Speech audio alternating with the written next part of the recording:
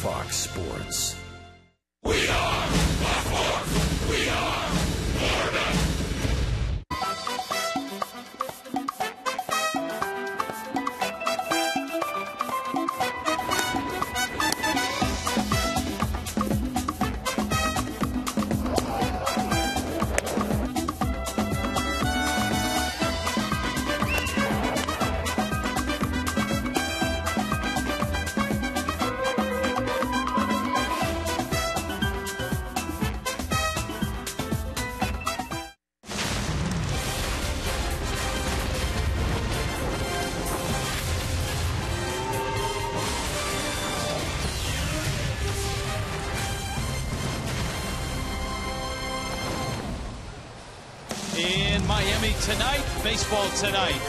Weekend series starts.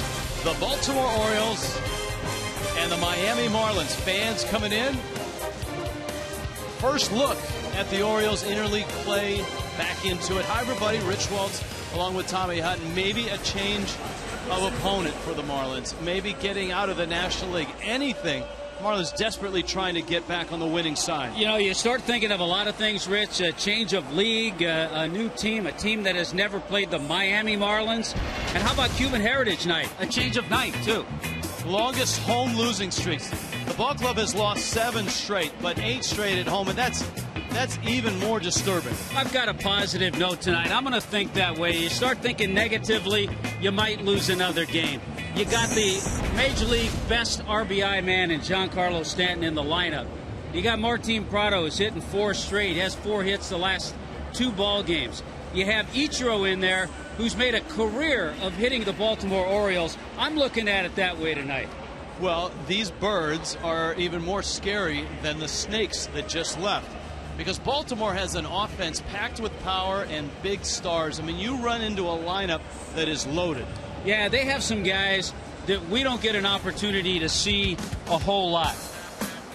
They have a guy named Chris Davis who a couple of years ago, all he did was hit 53 home runs and drive in 138. He did that in 2013. He has eight home runs this year.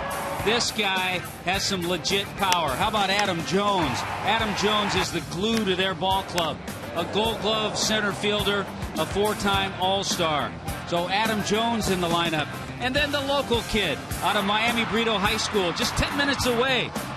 Manny Machado, 22 years old. He's hitting leadoff. He's at the top of the order because all of a sudden that knee is healthy and he's brought some excitement to the O's. So there you have it. Miami trying to get back on the winning side, trying to end this losing streak. Baltimore is in town. It's a three gamer. It starts tonight, and it is Cuban Heritage Night, an Alvarez Jimenez matchup.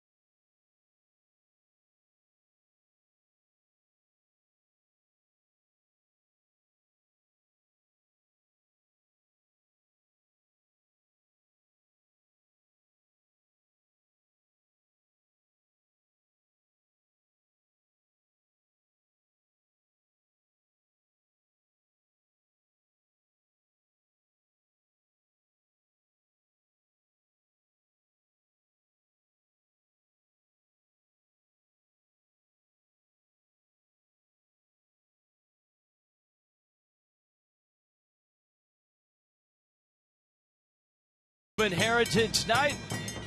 Marlins and Orioles getting ready to go. Oh, you never know what you're going to find out in center field. Let's go out to center field. Craig Minervini, Jeff Conine. Gents.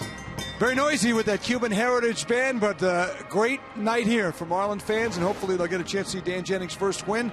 Been some great Cuban players in Marlins history. Not all superstar type players, some very good, some good, some just played the majors. Yes, absolutely. A couple current players from Cuba right now, Hechavarria and Fernandez. A couple former teammates of mine, Livan Hernandez and Orestes Destrade, uh, Tejera. And I'm going to let you take that bottom name there. I'm, Izquierdo? Izquierdo. Izquierdo. Yes. And Michael Tejera was a was a bulldog type lefty pitcher. Yes, he was. Yes, he was. That uh, post World Series team. He did a pretty good job on the mound. He was very courageous. Of course, Jose, we hope to see as soon as the next month, perhaps, on the early side. All right, Henderson Alvarez will make his fourth start. Can the Marlins expect a better start? He had the one bad inning. Other than that, he wasn't overly uh, sharp, but not too bad either. Yeah, you take away that one bad inning, and I don't think he had that bad of a start last time out. He's just coming off the DL, so health is an issue, but I think he's going to get stronger and stronger every start he goes out. All right, he'll face Ubaldo Jimenez, who is three and three and has pitched very well of late. Comes off a loss, but he pitched well against the Angels last time out. Yeah, two quality starts against the Angels and the, uh, the uh, Toronto Blue Jays. Interesting fact: Ubaldo Jimenez is the received the longest free agent contract to a pitcher in Baltimore Orioles history, four years. Uh, hey, how do you like the O's logo with the cartoon bird? Because you didn't get to play with that one. I did not do the uh, cartoon bird. I'm, I'm with the old O's. Oh, no. I, I like the cartoon. All right, interleague play coming up. First to three against the Baltimore Orioles next.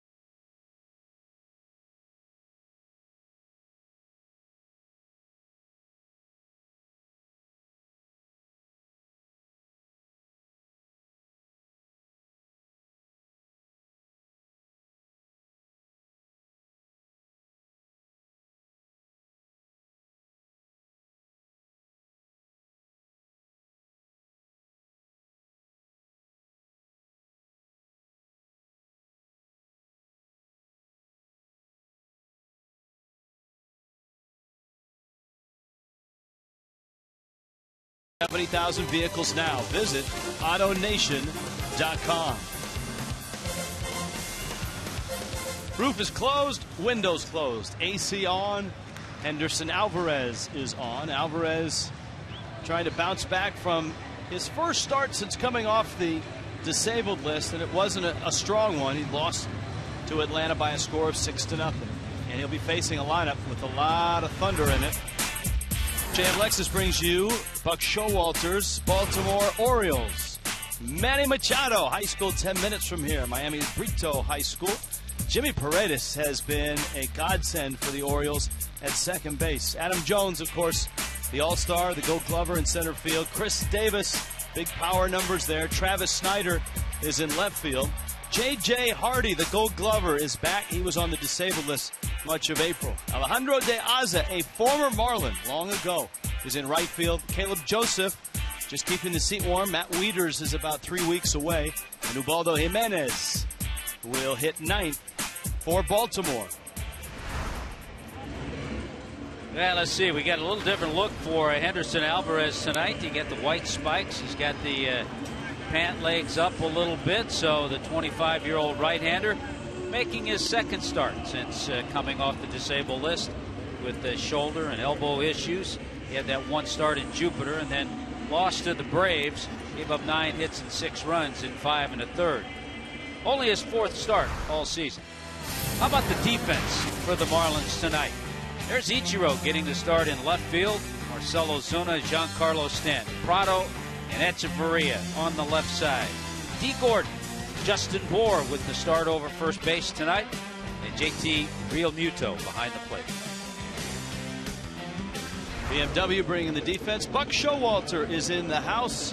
What a job he has done in Baltimore, reviving baseball in the Inner Harbor. And uh, the Orioles last year, 96 and 66. They swept the Tigers in the division series and lost to the Red Hot Royals the American League Championship Series. But there were 14 years of losing, 14 years of not going to the postseason. He erased that in 2012. Well, I tell you what, uh, what Buck Showalter has been able to accomplish, accomplish. He's been manager of the year three times with three different teams: the Yankees, the Rangers, and the Orioles. Baltimore outlasted Seattle in a uh, marathon because of a two-hour rain delay yesterday. Dan Jennings 0-4 now as the skipper looking for his first win. Boy, Dan Jennings talking about the, the role as a skipper. It's more emotional. It's more heartfelt. And you feel the players grinding. And that's- he'd like to get that first win tonight. Alvarez, of course, with that traditional old-fashioned windup to start things. And he'll pitch it to Manny Machado. Zips in a fastball for a strike. Machado, young sensation out of Miami, makes his offseason home in Hialeah. Goes after a breaking ball and he pops it up. Justin Bour with Gordon behind him. Bour makes the catch. Alvarez has an out. One of the things we'll have to keep our eye on, and actually a good sign, the second pitch to Machado. One of the things that Henderson Alvarez got in trouble with that last start, he started off a lot of fastballs and got hit hard early, then changed up a little bit, made an adjustment, and threw more breaking balls. Side session. Chuck Hernandez to iron that out. Jimmy Paredes, 25 year old Dominican, who has really burst on the scene this year. His first eight years as a pro, he has spent in the minor leagues with some cups of coffee along the way. This is a guy that was claimed four times on waivers by the Marlins, actually, long ago. Baltimore, Kansas City, and then Baltimore again. He originally signed with the New York Yankees. He's a switch hitter. And there are some who will say, and he has been doing this for a while, his best position is at the DH spot. But with that not in order here, he's at second base tonight. Paredes pulls it down the line and then takes a right turn wide of the bag. Evens the count at two and two. Well, Miami certainly in the throes of just an awful stretch right now. Marlins have dropped seven in a row, 10 of 11. They've dipped 10 under the 500 mark. Baltimore has somewhat underachieved. This is a team that many thought and probably still has the makings. Matt Wieters on his way back to contend and again win the East. Pitch is out and it's three and two. But Baltimore comes into this game two under at 18 and 20. I'll tell you where they have really stumbled, Rich, is on the road. They've played all right at Camden Yard, but 5 and 11 on the road. That ground ball is going to find right field. And Paredes has himself a single to right. If you're a Marlin fan, get ready for the American League East. The Marlins will see a lot of the East. Buck Showalter's ball club, three out. The Rays, surprising many, four over and on top in the East. The Yankees, half game back. Marlins have four against the Yankees. And the Red Sox surprising New England, being where they are. That's true. Adam Jones, one of the real stars of the game. 29 year old. He'll turn 30 in August. San Diego native. He has kind of become the not only leader on the field but in the clubhouse for this Baltimore team. This is his eighth year with the Orioles, four times an All Star.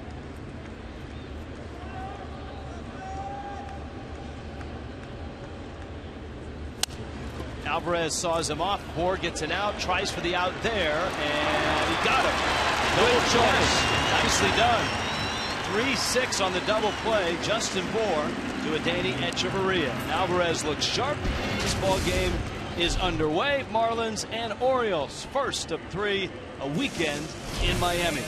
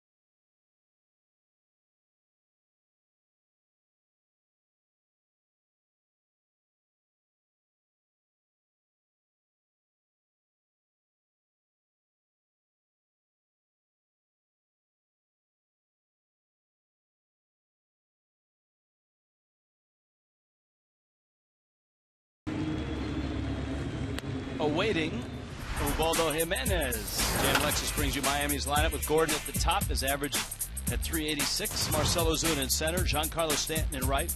Martin Prado in the cleanup spot. Justin Bour will hit fifth. JT Realmuto in the sixth spot. Ichiro gets the start. Great career numbers against the Orioles and good numbers against Ubaldo Jimenez. Danny Hechavarria is at short. Henderson Alvarez will hit in the nine spot. And there's a look at Ubaldo Jimenez. Sort of a renaissance for Jimenez at 31. Yeah, he's really made a, a turnaround. He had a, a, sprained ankle, a bad ankle injury last year. So he threw just 125 innings.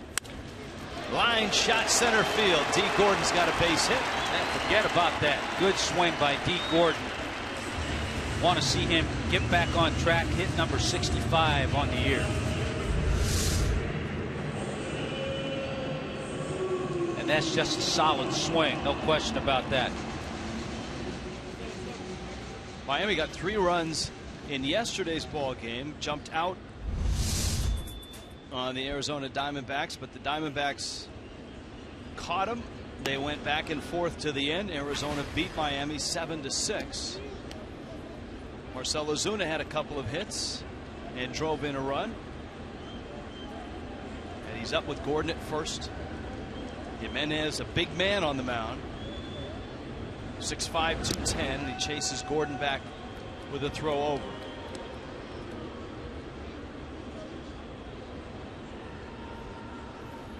Four of five. our opposing base runners. Marcell Ozuna squares the bunt, something he probably hasn't done a whole lot in his career. Now he looks down to Brett Butler. Yeah, I, I don't think if you're going to move a guy like Marcell Ozuna up to number two spot, let him hit like he's a number four or five hitter. You don't want him to bunt. The other thing, the last time Dee Gordon stole a base was May 4th in Washington. He's running on the pitch, and Ozuna pops it up. Joseph is there, and he makes the catch. Gordon gets back to first base. That's a real interesting sequence.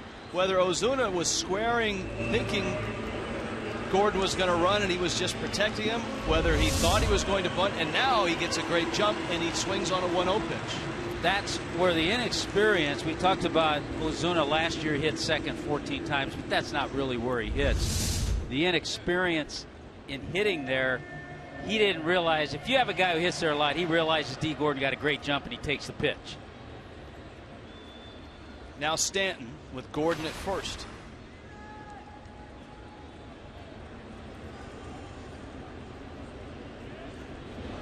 And Jimenez chases Gordon back. Now Stanton has faced Ubaldo Jimenez seven times. He's three for seven with a home run.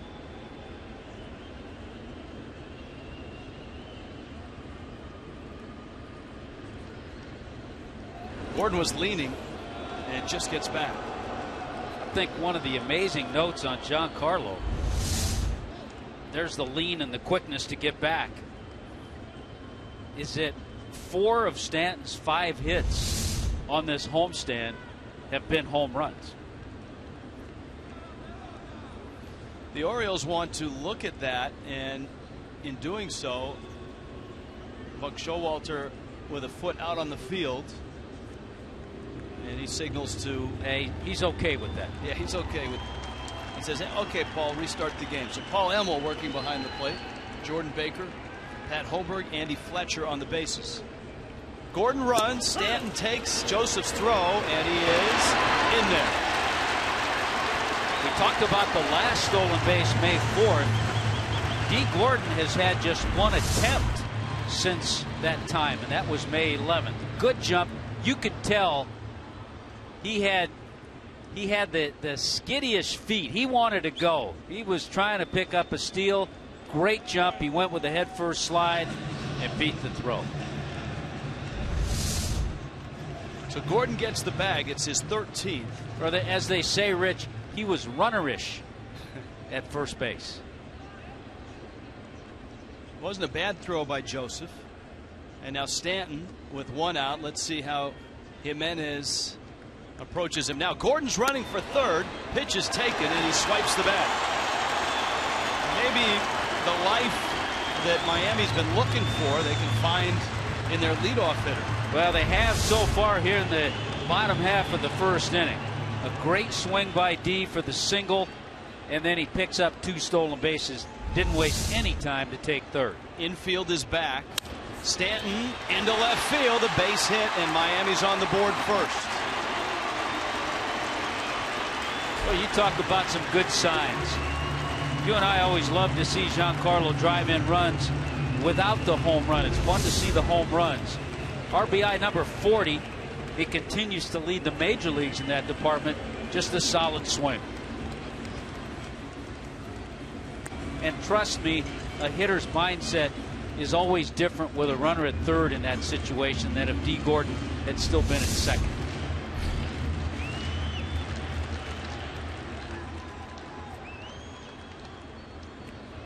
Stand the runner at first, and here is Martin Prado.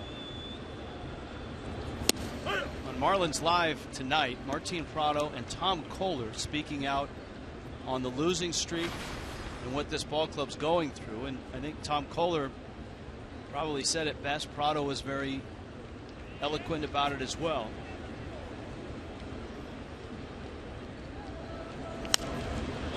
That one popped in the air and into the seats. Koehler essentially said it doesn't matter what anyone thinks about the managerial change. The Marlins obviously, I mean, it's been a week worth of just shocking news for front office, for players. Doesn't matter what you think, you still have to go out and play, and play hard, and play well.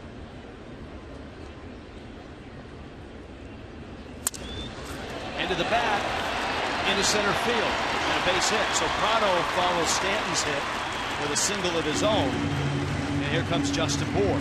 Uh, Martin Prado's got it back together. Five game hitting streak. He has five hits now in his last 10 at bats. This one off the end of the bat. You have to always look up if a ball goes into center because Adam Jones plays a very shallow center field. And I loved what those guys said, Rich. That's a professional way to approach it. You got over four months of baseball to play. Justin Bour now, who grew up in the Beltway. Remember George Mason, just outside of Washington, D.C., so you know that he's watched a lot of Oriole games growing up. This has to be special for him. The Nationals obviously came online about 2005, but as a small kid, the only game in town were the Orioles. You probably watched some Jeff Conine, right? He probably did. Saw that changeup on the first pitch, and Jimenez took a little bit off on that pitch. There was a time where Ubaldo Jimenez may have been the best pitcher in baseball. And that time was 2010. He was an all-star in Colorado. He had an ERA under three, and he was 19 and 8. The amazing thing about Jimenez that season 19 and 8 sounds good, and it's a great year. But he was 15 and 1 at the All Star break.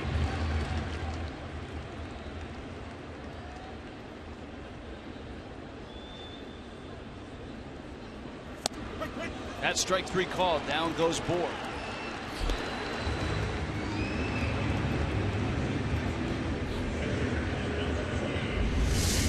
He's improved on his command. That ball moving, good two seamer.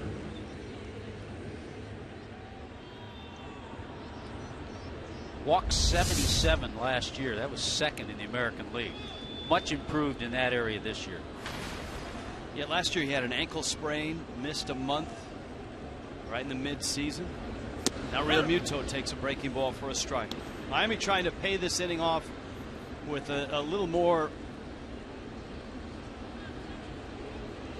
than the one run and three hits they've got. Realmuto with runners first and second and two outs. Pulls a ground ball to third. Machado the short way to second. And the Marlins will settle for a run on three hits and a 1 0 Miami lead.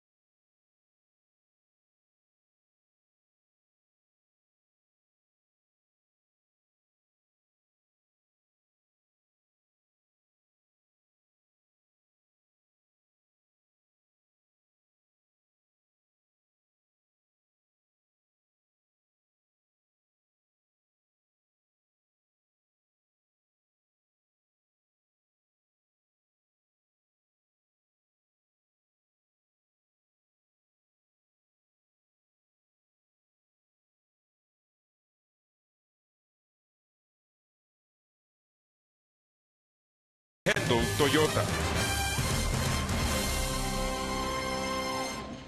In Miami, Marlins Park on Cuban Heritage Night.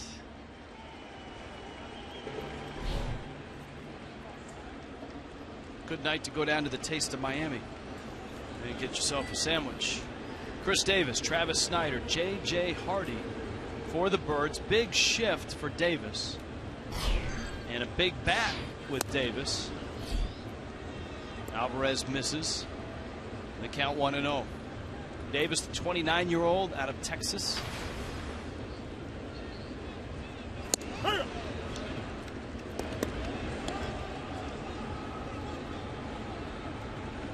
And it's 1 and 1.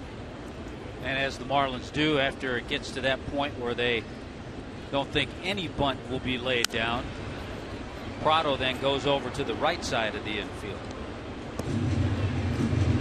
Prior to that, he was over on the left side because if there's a bunt, Perry Hill feels he's a little more familiar with that side of the diamond to field any slow roller.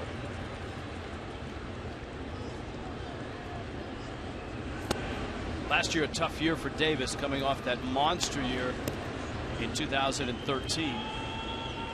53 homers in 2013. Last year, he had 26 in 127 games. Pulls it, Bour dives, missed it. Alvarez gets there, and from the outfield, Gordon throws him out. I think Justin Bour, when he sees that on video, will realize probably should have just gone to the bag. But the Marlins get the out.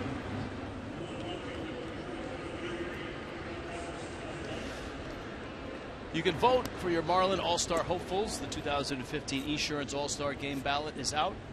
You can vote 35 times at marlins.com on your computer, tablet, smartphone, handheld device, watch, whatever it takes. Puller upon. Help select starting lineup for the 2015 All Star Game and vote today. So a 4 1 put out in your book there. And here is Travis Snider. Ah, there's that slow breaking ball that the entertainer will feature every once in a while. Whether it was good or bad with Justin Bour uh, covering, there's this slow pitch. The good news, he's got Alvarez on the mound. You know he's going to get over there to cover. Alvarez long ago a shortstop before he became a pitcher. Misses away. So already early on, we've seen more breaking balls from Henderson than in his last outing against Atlanta.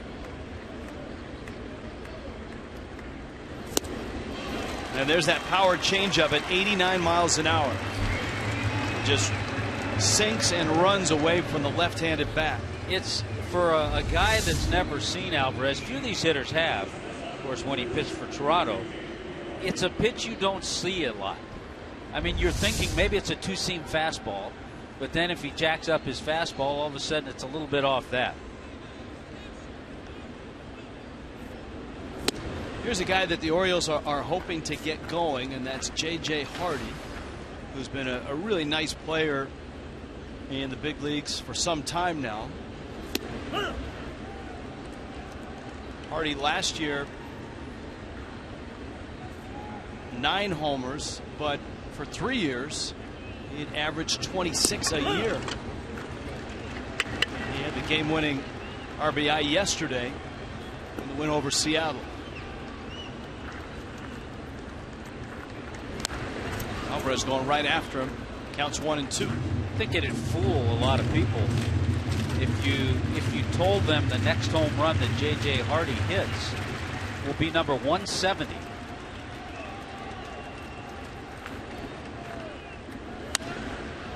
Hardy lifts that one in the air. Stanton over towards the corner, reaches, missed it, and slams into the wall. And I suspect the ball may have glanced off the wall before it got to his glove. They all arrived at about the same time. I would also expect there may be a little damage to the wall.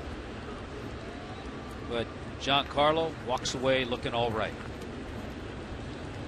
Yeah, when it gets there at the same time, that's a tough play.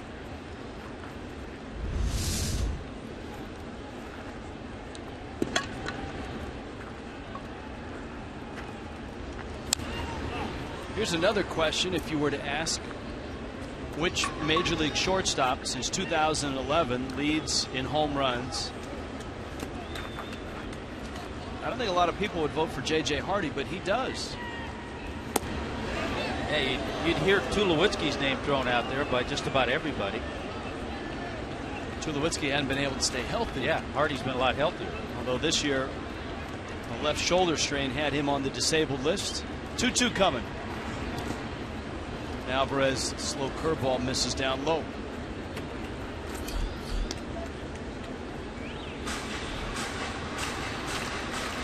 Alejandro De Aza is on deck for the Orioles.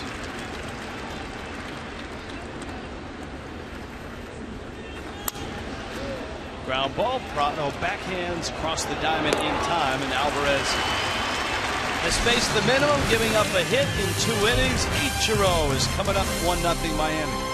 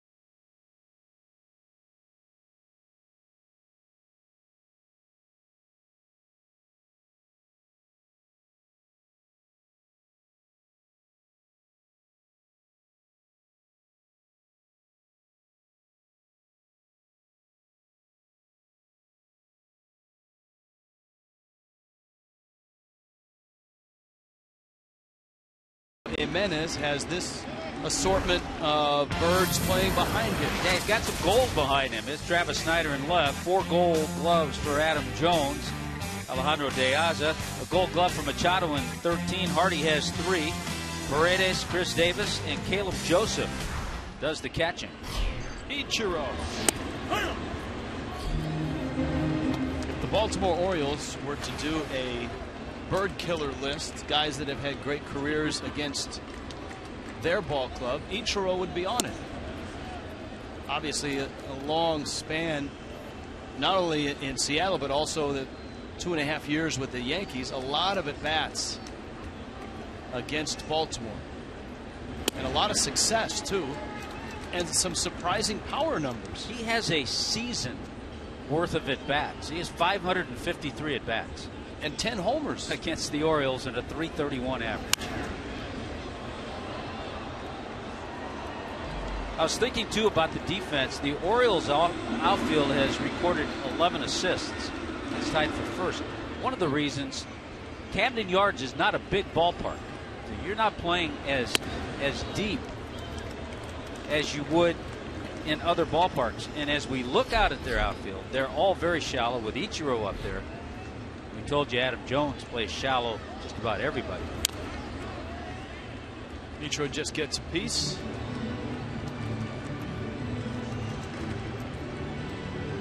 Christian Yelich getting the night off.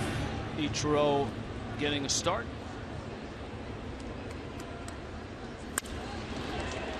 And he lines that fouling into the seats. Count stays at three and two. If you just joined us, Miami got a run in the first. Dee Gordon a single. He stole second, stole third, and scored on a Giancarlo Stanton single. 40 RBIs now for Stanton. Marlins would get three hits in that inning. and a 1 0 lead. Ichiro flips that one into left field. There's a base hit. Oh, that's a thing of beauty.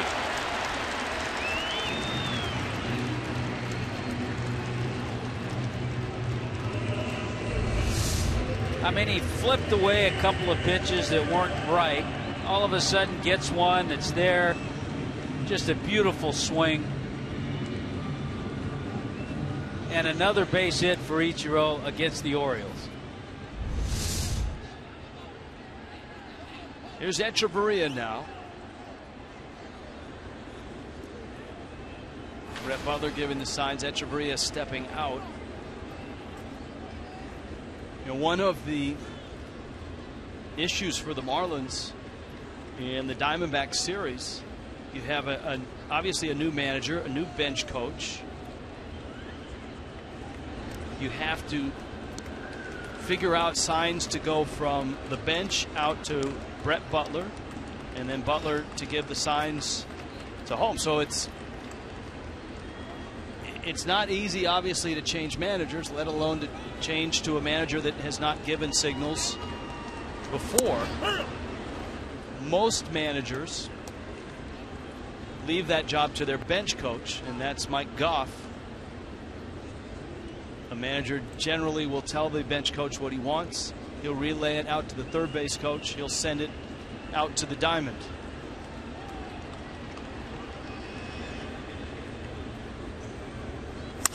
Hechavarria. That's into the gap. Jones over for it. Ichiro's not stopping. On his way to third. Etch on the strong throw by Adam Jones is back with a loud single at the corners. And here comes Alvarez. The Marlins have brought out some really good swings tonight. Hechavarria, for those of you who always want to put him somewhere else, in the number eight spot now is hitting over 370. When he hits in another spot in the order, he's one for 31. Keep him where he's comfortable. That's an amazing breakdown. Adam Jones showing off his great range and arm on that play. All right, we'll be interested to see if uh, Alvarez will swing away. Will he bunt? And, you know, he's got a, a speedy runner on each corner. If he lays down a good bunt, he could get a run home. The thing about Alvarez up there, you have options if you're DJ. Because he swings the bat pretty well, you see the 228 average. He also drops down bunts pretty well. So you, have got a few options. I would expect he's be, he's bunting here. Swings and fouls it at the plate. The count's 0 1. You were talking, Rich, about the manager, and this goes throughout baseball, relaying the signs to the bench coach. Sometimes it's actually someone else on the bench because if the other team suspects, okay, we'll just zero in on the bench coach, then it could be somebody else giving signs out to Brett Butler. And there may not be a better savant of baseball than the guy in the other dugout, Buck Showalter. Alvarez ground ball to right field. That's a hit. There are the options. He loves to swing the bat. He loves to entertain. The Marlins right now are singling Ubaldo Jimenez to death. Six singles, the first nine through the order.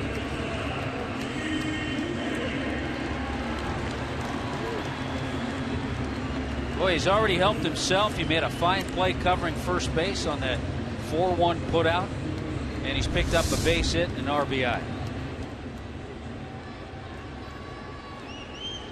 Now, Dee Gordon.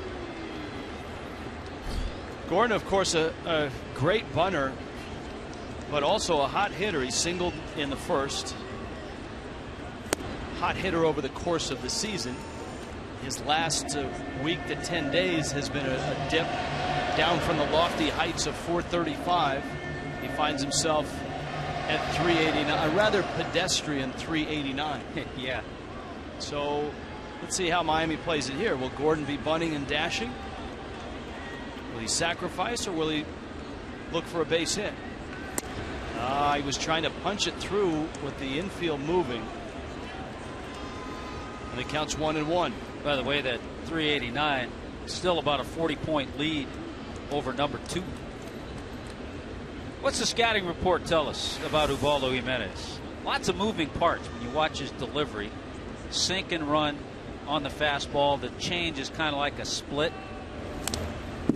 At times he can get in, inconsistent with the curveball, but he's been much better with it this year.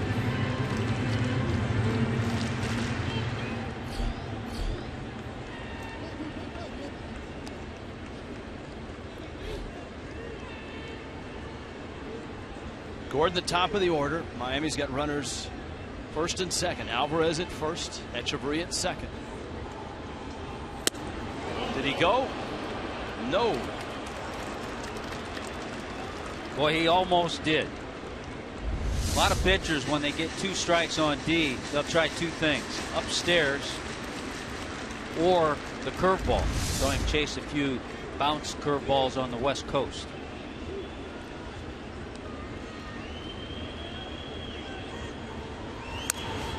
Pulls that one on the ground, and the Orioles will settle for an out at first, and that's essentially a, the same as a sacrifice bunt. Sets up nicely for Marcell Ozuna. Flashback Friday, that will be tonight. It's brought to you by Dodge.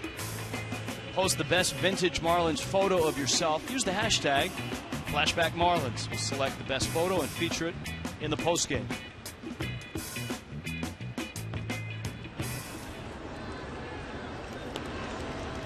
Now, this is a more comfortable spot for Ozuna, an RBI spot.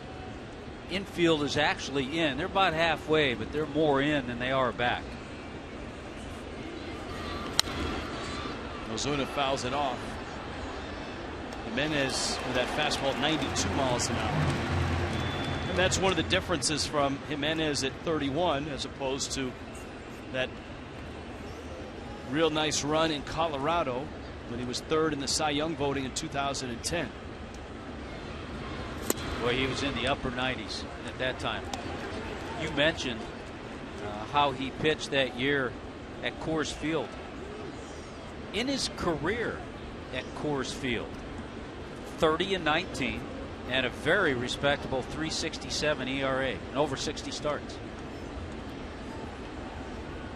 367 at Coors Field is probably uh, the equivalent of below three, like a 2-8 or a 2-9. Yeah.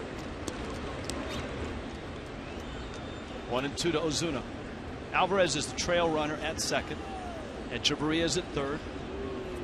Miami a run in the first and one here in the second. Little squibber coming home is Hechavarria sows the throw and he beats it. No chance at all for Perez. Great jump by Hechavarria. Because it was a squibber, if you're a second baseman, you've got to go to first base there. You're going to have no chance at the plate. Good job by Hechavarria. Good job by Ozuna making contact on a, a breaking ball moving away. He squibs it off the end of the bat, and the Marlins pick up their third run. And so here is Stanton with runners at the corner. Stanton drilled a single to left to drive in the first run. Two across here in the second. A 3 0 lead. Ozuna and Alvarez at the corners.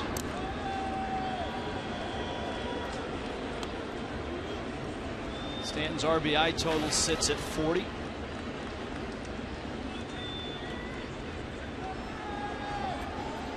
Best in the National League.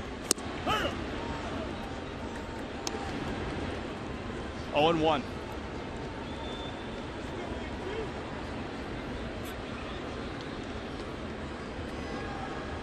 Adam Jones in center field. Not real deep. That's the, the most shallow we've seen any center fielder play with Giancarlo up there.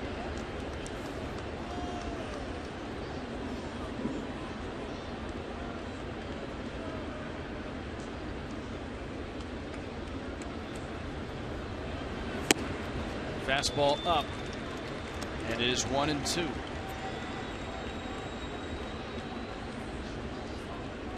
Six hits, all of them singles. And the Marlins have made Jimenez work. good ball strike ratio, but this will be pitch number 41. He's only thrown nine balls. And that one comes in and deflects off the bat. Yeah, Count stays one and two. When he's missed, he's missed in the strike zone and he's missed his spots. That's one of the reasons the Marlins have been able to pile up six hits and three runs.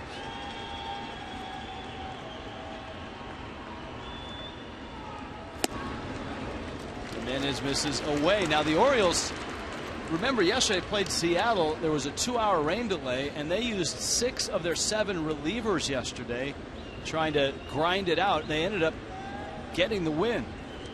Tillman, their starter, went just three innings. And Stanton, with some patience here, has run the count to three and two, and that'll start Ozuna from first. Well, excuse me, it might start Ozuna from first.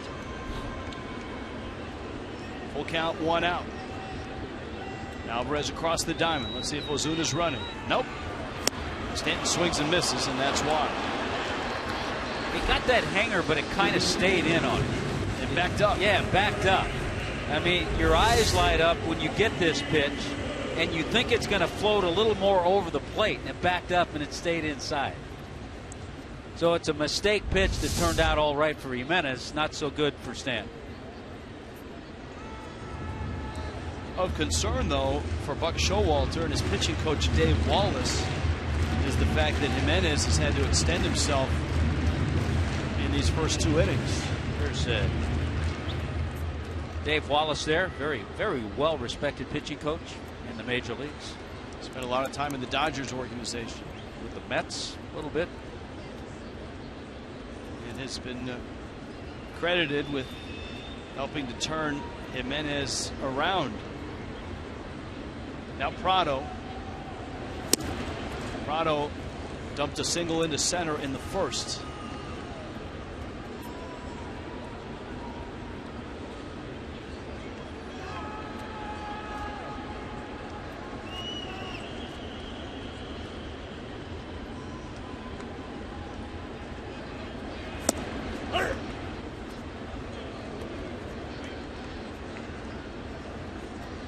Ball and a strike. Jimenez after Colorado in Cleveland.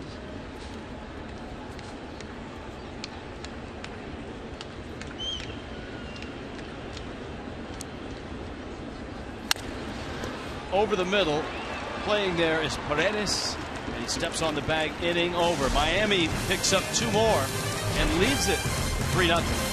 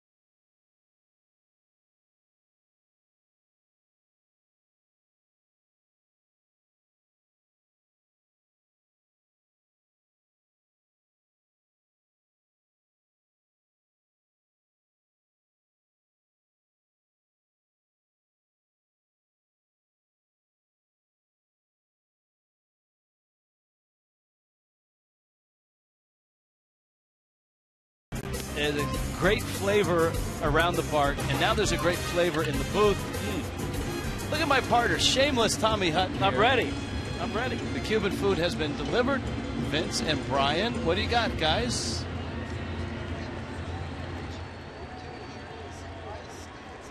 Some rice and black and black beans here. We have the sausage.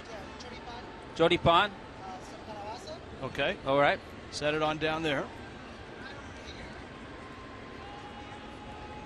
Oh, shrimp, This is grouper. camarones, Ah. and a ground ball. The second, D. Gordon on the first to get the out. have some plantains here, Rich, as well. Nice. Oh, this is nice. Now I know why you napkined up, Absolutely. gentlemen. Thank you.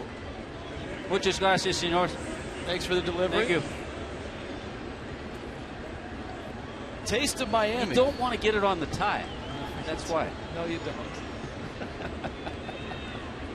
Well, Henderson Alvarez has a 3 0 lead, and he goes right to work, getting a ground ball out to open up this the third inning. Alejandro De Aza bounced out. Caleb Joseph now, the number eight hitter for the Orioles. Joseph.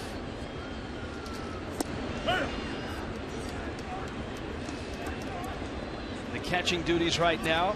We mentioned earlier Matt Wieters is with the ball club this weekend. Wieters has been in extended spring after Tommy John surgery last June.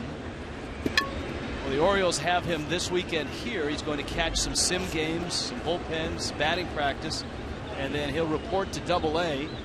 Buck Showalter told me today he thinks and plans on having Wieters on the 4th of June when he's eligible to come off the 60-day DL join the team and start to play. He won't catch every day, probably every other day to start with. Ground ball third, Prado collects it, and Joseph is out number two. Well, there are a couple of guys. Wieters's certainly one of them. The other one we mentioned earlier, Adam Jones, that are the real stable, the real glue to this Baltimore club. And they need both of them in the lineup.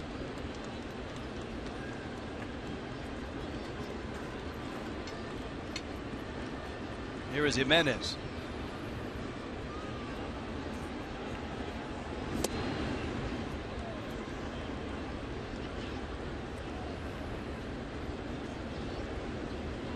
It's an Oriole team that many feel is better than their record. Grounded to first. Bour has it. Steps on the bag. Henderson Alvarez looking like the old Henderson Alvarez.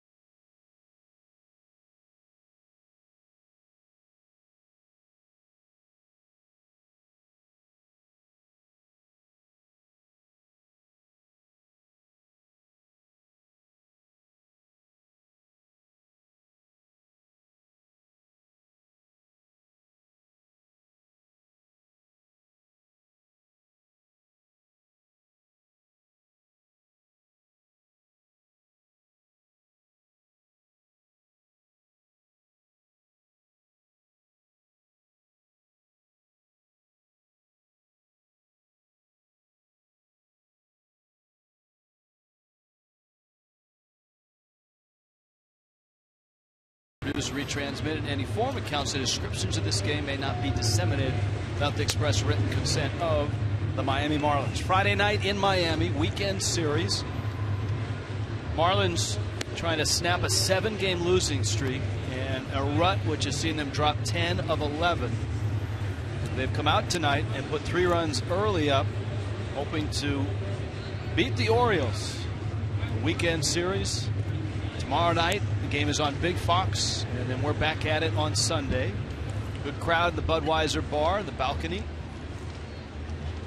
Clevelander seems to be hopping. We've got a big serving of uh, Cuban delights here on Cuban Heritage Night. And we always think whenever it's Cuban Heritage Night, we talk about baseball, we always think of our good friend Cookie Rojas.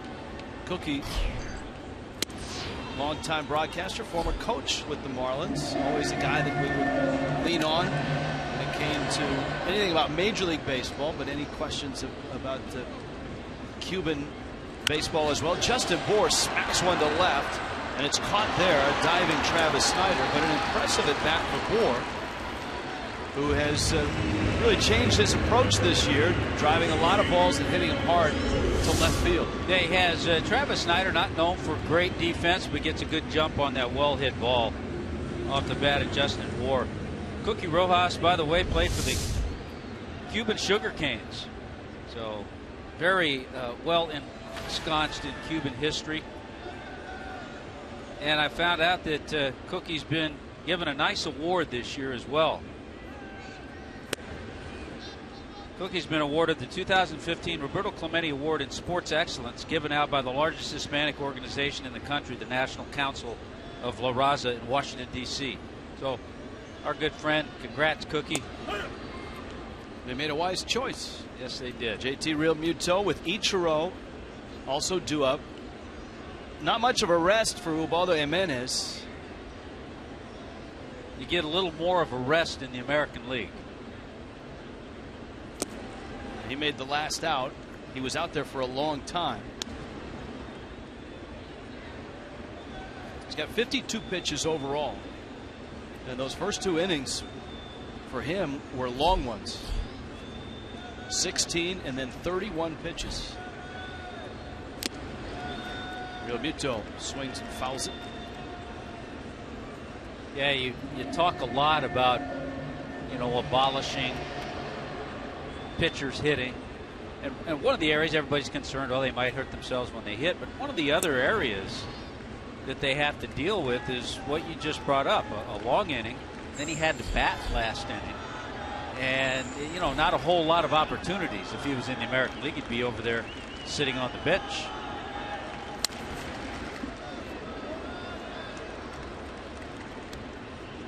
Count full three and two.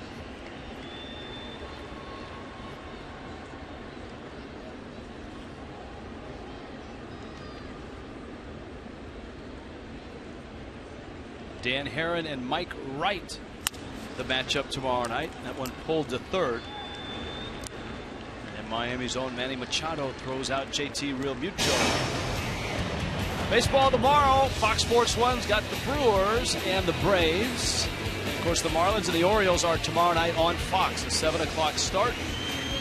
Coverage begins at 3.30 Eastern on Fox Sports 1. Your home for baseball every Saturday.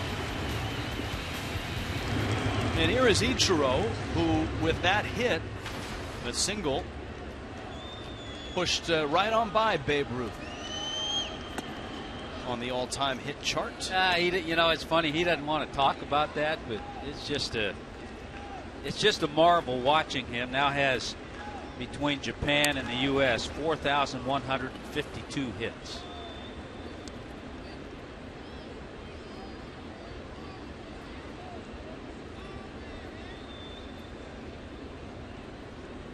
Here's the 1 1 pitch.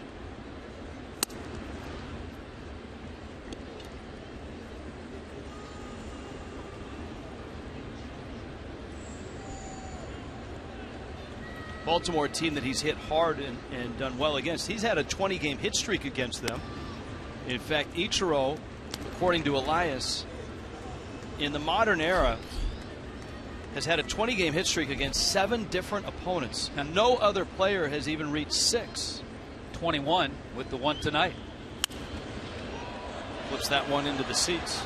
That's amazing. So, seven different teams he's had a 20 game hit streak against. His career average against Baltimore, over 330, is seventh among active players. And he taps that one foul. He has to be the type of hitter that just drives pitchers crazy. Because when they make that good pitch, they'll just foul it off.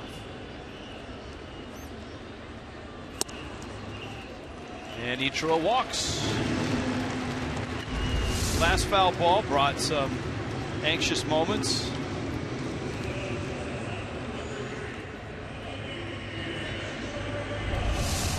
I know it's tough to hold a glove and a microphone at the same time.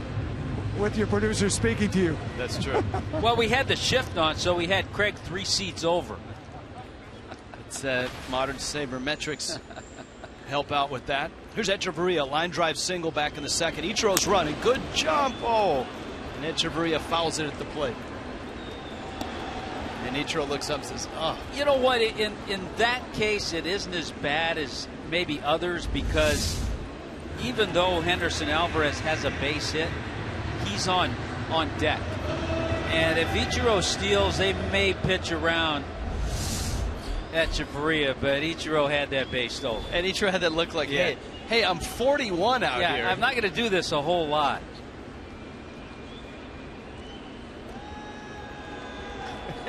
Marlins stole two bases in the first. D. Gordon got second, and he got third. If anyone can regroup and run again and, and get the bag again, it would be Ichiro. Not running. Hechavarria almost the same spot. Line drive into left. Hechavarria poked his nose under 300. He came in at 297, but two base hits have taken care of that. Yeah, he's uh, he's saying I like living in that 300 neighborhood. With swings like that, he'll continue to reside there. Beautiful. All right, here is Alvarez. And Alvarez knocked in a run with a base hit to right. That was in the second.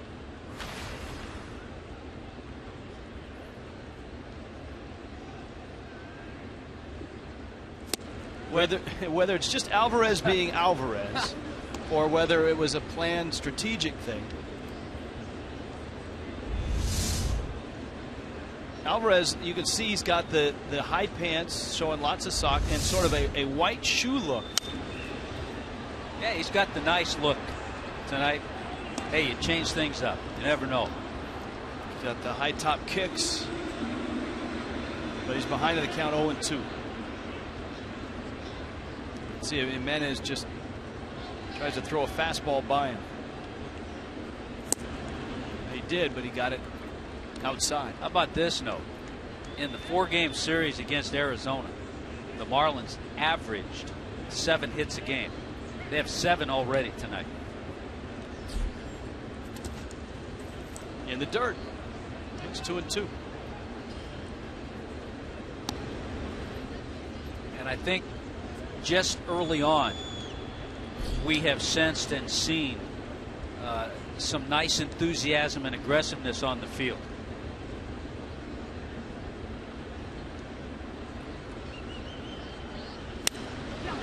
Alvarez hits it in the air to left. Travis Snider is there, and he makes the catch. Marlins leave a couple, lead it after three, 3 nothing.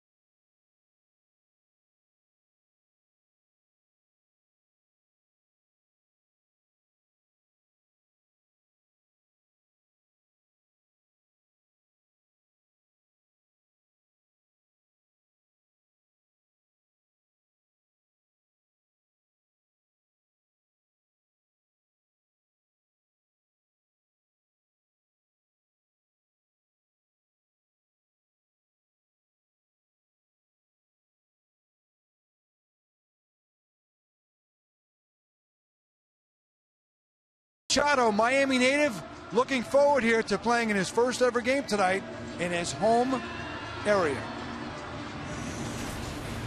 It's always been a dream for me to come home and play in front of my hometown, in front of my, you know, my family. So it's going to be a good time, and been looking forward to, looking forward to it for a long time. You haven't played here since high school? Since high school. High school was the last time I got here. After I got drafted, went up and been up in Baltimore since. Third pick overall, 2010, played for Brito High School, was a big Marlins fan, went to the two World Series matchups and followed them closely. Said he even had a Jeff Conine outfielder's glove as a youngster. Remembers as a kid watching our colleague play. He's really excited, guys. In the, uh, as you can imagine, this happens all the time. His teammates have been riding him for a bunch of weeks with all this Miami stuff they kept hearing about. But he's happy. He had this one circled on the calendar right at the beginning of the year. Well, he certainly burst onto the scene in 2013. Thank you, Craig. And he was an All Star Gold Glove winner. 51 doubles in 2013. Unfortunately, that season ended with the knee injury. Lines it to right. Stanton over to get it. And Machado has a hit. Yeah, I, I will say he's just happy that he has a healthy knee after all the troubles that gave him. And as a young player, that's always a concern had surgery, but he's bounced back well. And actually, they've been hitting him at the top of the order. He has seven stolen bases, seven out of eight this year. His on base percentage at 345. And so Alvarez, second time through the lineup. Jimmy Paredes had a base hit, a ground ball to right. A lot of ground balls, first time through the order. Alvarez had seven ground ball outs and a strikeout. His one out in the air was the pop up from Machado on the infield. So Alvarez looks a lot better than he did against Atlanta, where he went five and a third, gave up six runs on nine hits. Machado not running, fastball runs away, and it is one and one. Everth Cabrera is a Baltimore Oriole, and he's on the disabled list. He's close to coming back. He can play obviously up the middle, both short and second.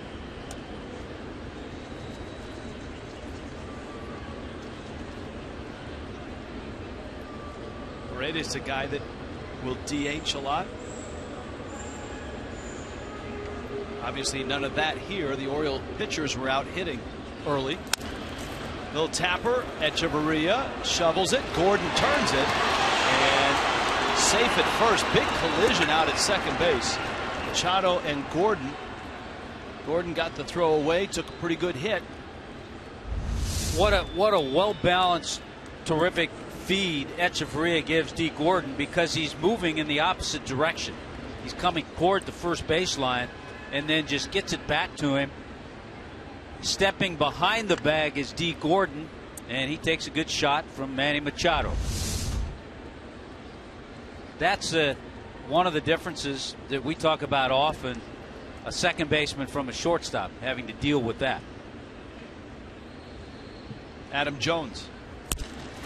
Sharp single into left field by the diving Martin Prado. And so Jones has a hit.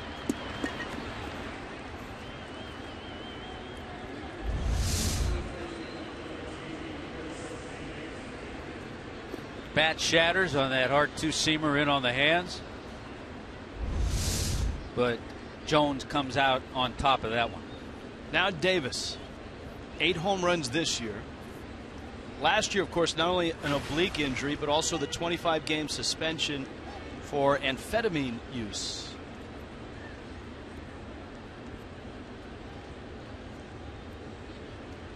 Davis against Alvarez. Alvarez has allowed a home run in his three starts. With all the ground ball outs that he has tonight, a good illustration. It's not easy to lift and separate and hit one out against Alvarez.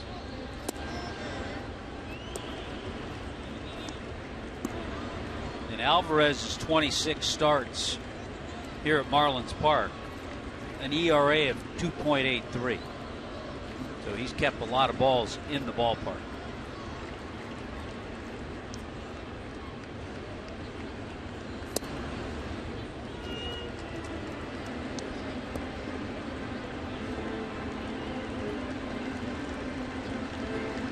2 0 on a dangerous hitter in Chris Davis.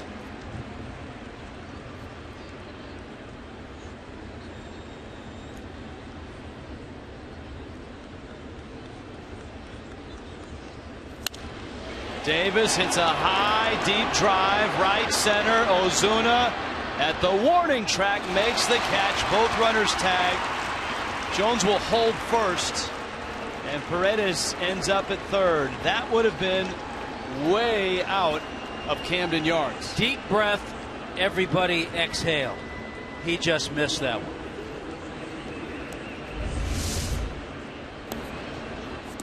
Chris Davis used a pretty big bat, too.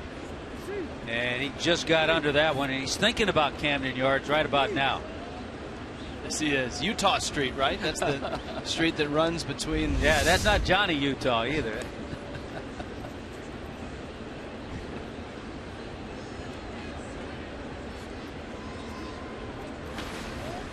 Here's Travis Snider now. At the corners, two outs. Another guy with some power. Snyder, just one home run this year. A Blue Jay and a Pirate in his career. Yeah, we used to see Travis Snider, PNC, when he came to town with the Pirates. We'll be at PNC next week, Rich. Yes, we will. And he was a teammate of Alvarez in Toronto. Was a Blue Jay. Starting in 2008 when he got up for 24 games, he was up and down with the Blue Jays all the way through 2012.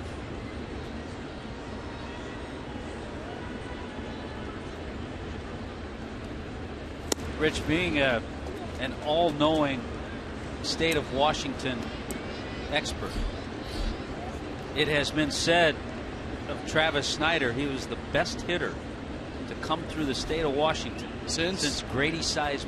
Oh, well, yeah, I would go there.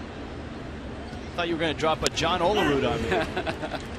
I don't know. Yeah, I, I got to throw a John Olerud in that group. I think John Olerud. Olerud I'm not sure who said that. All right, you could go in, into an interesting argument. Is it John Olerud, Ron Santo? Who's the best hitter to ever come out of that state? Wow. Well, Ron Santo's in the Hall of Fame. Here's a 3 1. Snider pops it towards the wall. Prado. Craig again without uh, a glove, a clipboard this time. I think Craig called off Prado that time. See, uh, we have the Baltimore scouting report. We got it from our friends at Sun Sports with the Rays. We have the Orioles scouting report, so we knew exactly where to position Craig.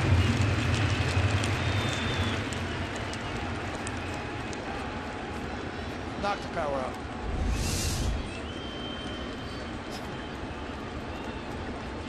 Three two, runner on the way, and Alvarez misses out. So no runs yet, but a bit of a, a uneven inning for Alvarez. You can enter now for a chance to win a trip to the Major League Baseball All Star Game on Fox. You and three of your friends just upload two photos. FoxSports.com, fantastic All Star now through June 3rd.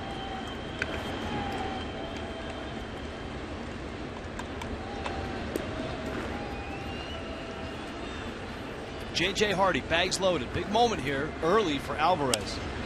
Hardy drives it out into left center, and Ozuna has plenty of room, is there and makes the catch.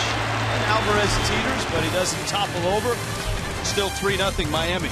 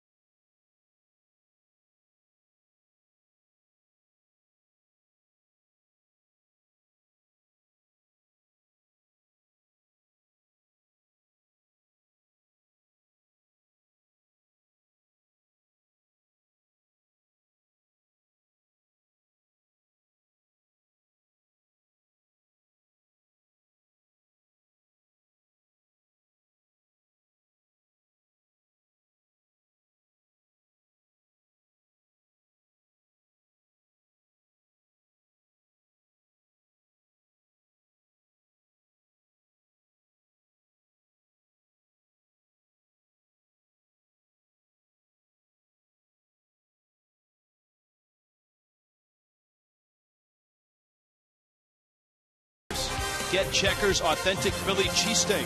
Try the new meatball sub. Pick yours. By Subaru of Pembroke Pines. Price, service, selection. You're going to love us. Sunset in South Florida. D. Gordon in the box. Bottom of the fourth. Ubaldo Jimenez throws a strike. Miami has a 3 0 lead. Gordon got things started for the fish. Back in the first, a single and a pair of stolen bases. Jimenez misses up and out. Ninth time in D. Gordon's career, he's stolen second and third in the same inning.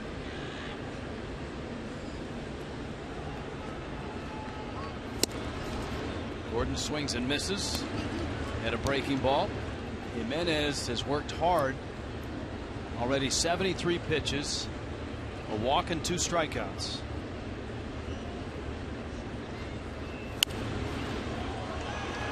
Gordon lifts it foul. Seven hits, all have been singles. It's okay though because a lot of times you and I talked about the reliance on the the home run and we saw that a little bit from the Marlins with JT Realmuto with uh, Giancarlo. Gordon swings and misses. Ball gets away. Gordon is aboard. D. Gordon scampers down to first. It'll go as the third strikeout for Jimenez. Here comes Marcell Ozuna. Boy, it chases that off speed pitch. It gets under the glove of Joseph, who, by the way, came into the game six for 17 and throwing runners out. So a pretty good percentage. Now remember, in that first inning, Ozuna, when Gordon got a great jump on a 1 0 pitch, popped one foul. It happened to Ichiro as well. They've had great jumps against Jimenez. Here's the tough part about that for Ozuna. You get him in that number two spot, but, but you put him there and you tell him, don't think you're a number two hitter. You, you're, you're still the same hitter. Don't change. And remember when Ozuna started out so slowly, the key word that Frank Menechino was able to communicate to him was be aggressive, get aggressive. And so you don't want to kill that on on the account of him worrying about Gordon. It's essentially go up there, do what you do, and let it fly. Right now, the Orioles are worried about Gordon. They just pitched out.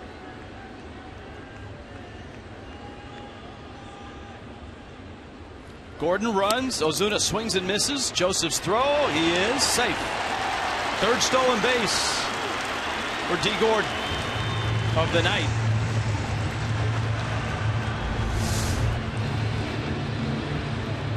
Another really good jump, good acceleration. And you noticed uh, he's staying with the head first slide and able to stay on the bag, too. Remember, he stole third as well. That was in the first. Jimenez. Ozuna swings and misses, counts one and two. Stanton is on deck.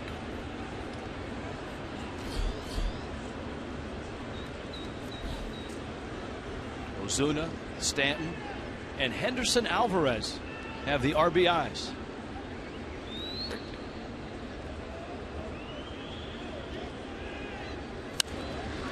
Popped him up. Infield. Davis will call for it. And he'll make the catch. And here comes Stanton. Remember, tomorrow night is Big Fox. We're back on Sunday. South Florida Honda dealers will get you ready for that Sunday game. It ends the homestand and the series. Craig Minervini and Jeff Conine will be your hosts. Tom Koehler gets the ball for the fish. Miguel Gonzalez, a right-hander, who's five and two with an ERA in the low threes, pitches for the Birds. Stanton fouls it back. Now, Stanton ripped an RBI single to left in the first. Jimenez then struck him out in the second.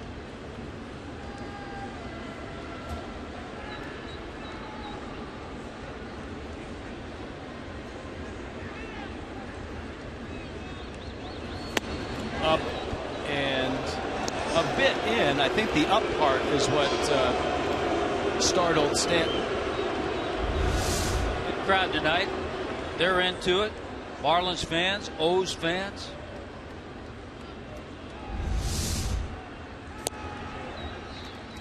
Well, the Orioles have certainly a a tie-in to this area. They trained in Fort Lauderdale for a while. When Buck Showalter Trained was in Miami for a while too. when Buck Showalter was a Yankee, it was his manager in Fort Lauderdale that gave him the nickname Buck.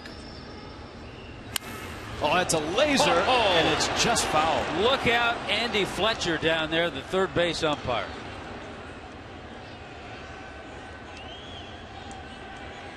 Fletcher muttering to himself.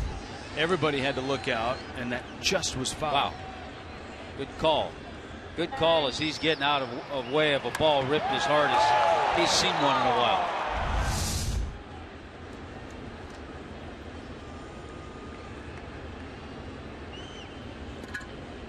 How'd you like to be Brett Butler right now? Butler trying to coach third, a lot closer than Fletcher, and tries to get at an angle such. Look at him. He'll back up as the ball comes to the plate. He'll, he'll almost back up to that warning track just to get out of range, but he has to be in that spot with Gordon at second. Yeah, and with nobody on, he'd be that far away on the other side Maybe- of the coaching box. Further than Fletcher. 3 2 fastball up, and Stanton swings and misses. Well, he's gotten Giancarlo a couple of times tonight to go out of the zone with a backup breaking ball that was up and with a fastball up there.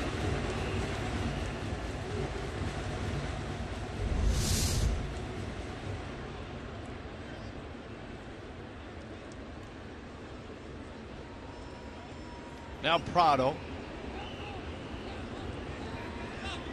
And Gordon with a spin move.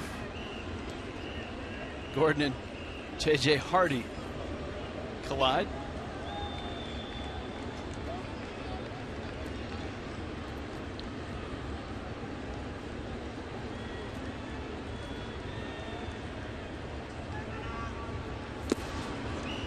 Jimenez misses down low.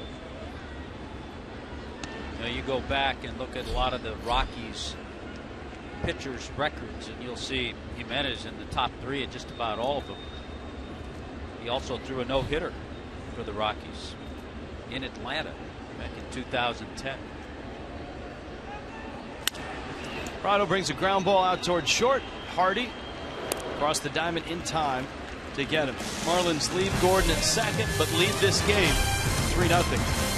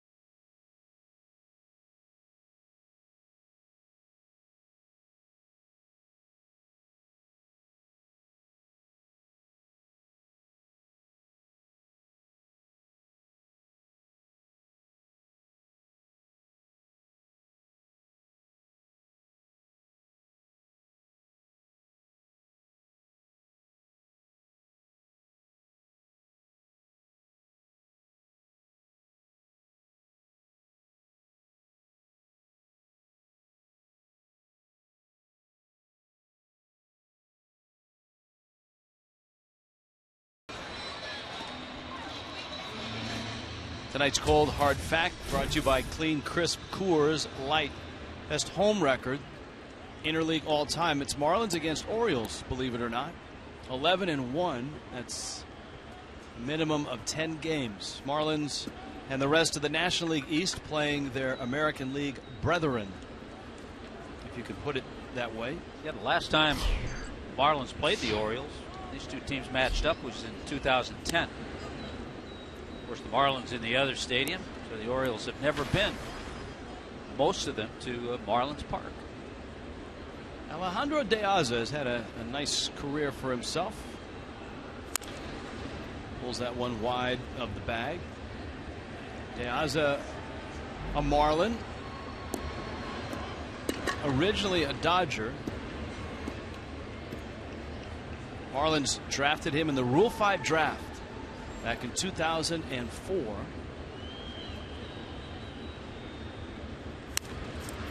Liner into left and a base hit for De Aza. Since then, a nice run with the White Sox, and this is second season with Baltimore. Thursday, June 18th, an American tradition comes to Fox and Fox Sports 1 for the first time as the greatest golfers in the world converge on the Pacific Northwest for a chance to stamp their name in the history books. Exclusive coverage of the 115th U.S. Open Championship live from Chambers Bay Golf Course begins June 18th on Fox Sports 1, Fox, and it streams live on Fox Sports Go. Liner into right center, shallow, Stanton on, and he'll knock it down on a hop. It's going to be a base hit for Caleb Joseph, and Baltimore has something going here in the fifth. Giancarlo tried to give a little decoy to De Aza. About halfway there, he realized he wasn't going to get there, but he's putting the glove up as if to say, I've got this. To kind of have De Aza pause for a bit. Buck Showalter sending up a pinch hitter as well right here. Delmon Young, who we've seen over the years with many teams. And amazingly, Delmon Young is still that. He's 29. I would have guessed he would be early 30s. But he came up early. Remember, he was the first overall pick by the Rays back in 2003.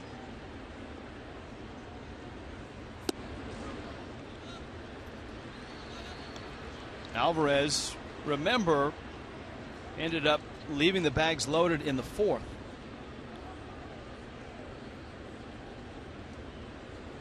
So Baltimore, who used their bullpen a lot yesterday, is going to have to get into it in the bottom of the fifth. Alvarez trying to get to that bottom of the fifth and keep a, a 3 0 lead intact. Well, this is a guy Buck Showalter knows can swing the bat. With Detroit in 2012, Delmon Young was the ALCS MVP against the Yankees. He was 6 for 17 that series. A couple of home runs, some big pinch hits.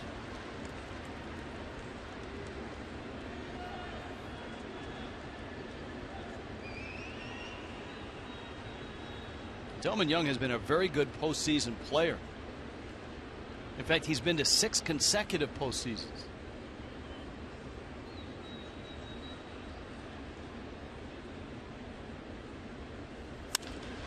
Gets into that one. It's deep. Ozuna back. Will play it off the wall. Around third, coming home is De Aza. Holding third is Joseph. And Delmon Young delivers a mammoth pinch hit RBI double. And of course, in the American League, you're not using the pinch hitter as much. It's only the fifth pinch hit appearance for Delmon Young, but you know what? He's three for five with two RBIs now coming off the bench. That ball was smoked. Chuck Hernandez on his way out. A lot of other runners score, but with nobody out, Caleb Joseph doesn't run that well. Nobody out. Bobby Dickerson, the third base coach, decided to hold him at third base.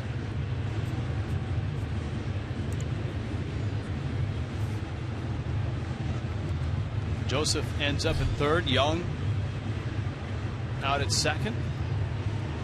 It's the top of the order, so you've got uh, dangerous bats here to navigate. Manny Machado, Jimmy Paredes, and Adam Jones. Miami's bullpen is up. Brad Hand.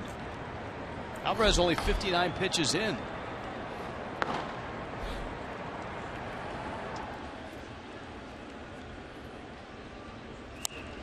Popped up, back, and out of reach.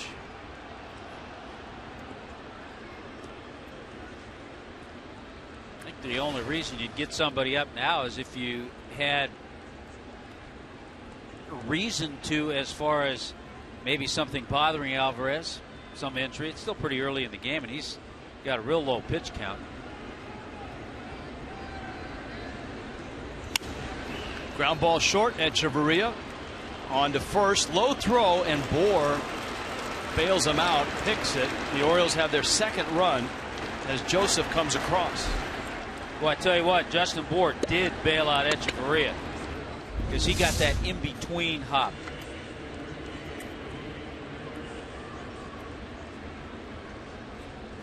Boy, that's a nice play. The other end. Yeah, that very easily could have been a not only a throwing error, but a ball that bounces into the seats where the run would have scored from second. Now Paredes. One for two with a single. Alvarez gets a strike.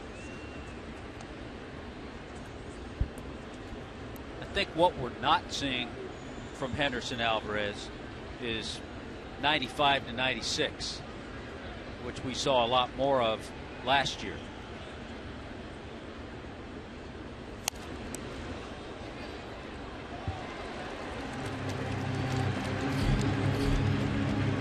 Ninety-three. He's topped out with his fastball. We've seen a few of those power changes at 89. Yeah. Yeah, at times last year we'd see 97 even. But he still knows how to pitch.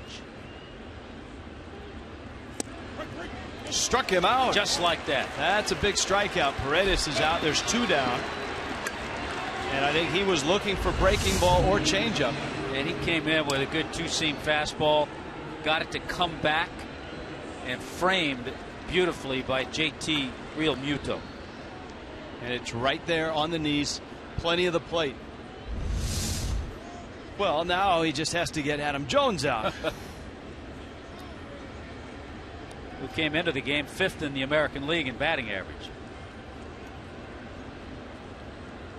Bounced into a double play in the first, singled in the fourth.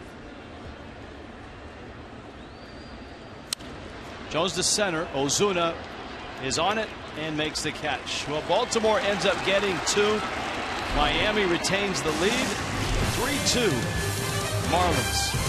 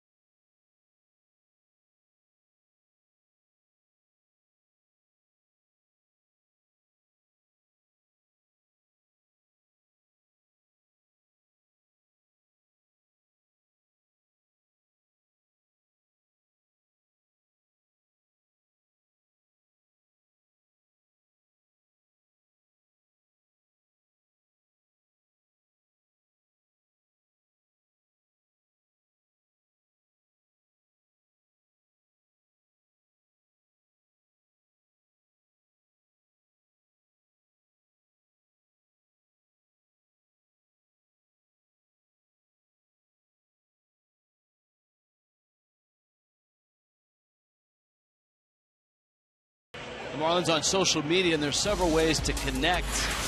Go to marlins.com slash connect. Full roster of Marlin players on Twitter. Of course, you get the official Marlin accounts on Instagram, Twitter, all of that. Share your Marlin memories. Get going. There you have it. A way to hook up social media and the Marlins. Tyler Wilson comes out of the bullpen for the Orioles. It is his second appearance in the big leagues. Well, he was just uh, called up pitching for the Norfolk Tides, and he was a starter there. So they've put him in a, a relief role, but he had seven starts in AAA. Justin Bour struck out, lined out. See a guy, a, a, guy pitching that went to the University of Virginia, a guy hitting that up the road went to George Mason. There's always a way, always a way to find a nice connection. JT Realmuto and Ichiro also scheduled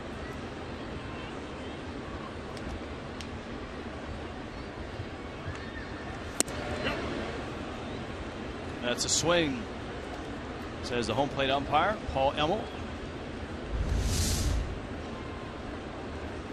And it probably is.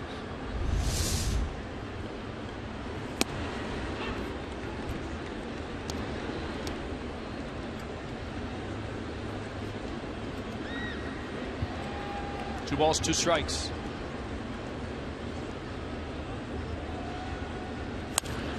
Oh man, Bour, it's deflected. The throw to first. He is out. Wow. Marlins may look at it. It appeared that Wilson had to go up to get the throw, whether he left the ground and left the base. Miami's replay room is busy. Ball is stung, even though Justin Bour a little bit out front. There's the deflection, the high throw. Ooh, Hard to close. tell if Wilson's right foot got down there. Did it? Yeah, yeah, I think it did. It just beat him. I think it did. That's a nice play on all ends. Good reaction by Paredes at second. And a good job by Wilson getting over. 3 4 1 is how the out is recorded. Here's Realmuto. But we've seen a 4 1 put out at first and a 3 4 1 put out tonight. Pat Shine working the monitors in the Marlins replay room. Last year led the National League in successful challenges. Sooner or later, there's going to be a category for that. It's going to be an award. There has, has to, be. to be.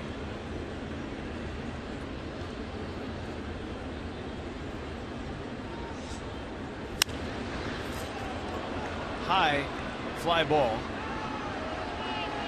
Adam Jones is there and he makes the catch. And you could present that award in slow motion on multiple screens. Toyota Trends.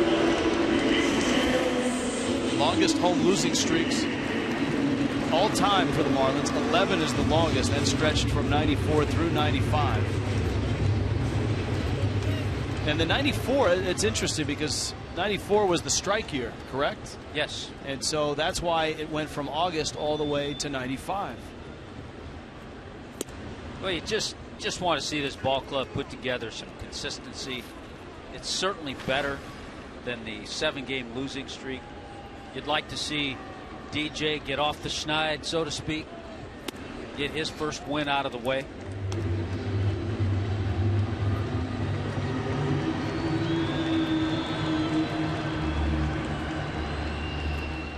Count 2 and 0.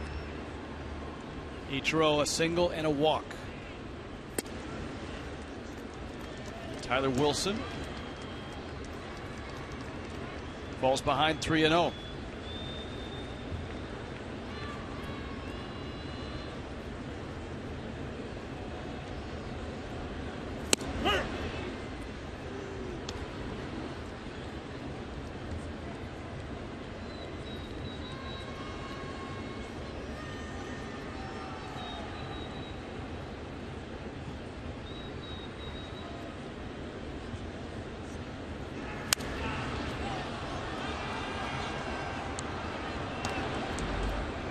Full now, three and two.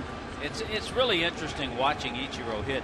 There are times he didn't do it there, where he gets in that hitter's count and he'll just stay on something inside and try to turn on it. The way he did on the home run he hit against Alex Torres. But that time 3-1, he still tried to drive it into left center. And he takes strike three called. A fastball from Wilson. Miami goes down in order in the fifth. On to the sixth. A one run game in Miami with the Marlins up 3 2.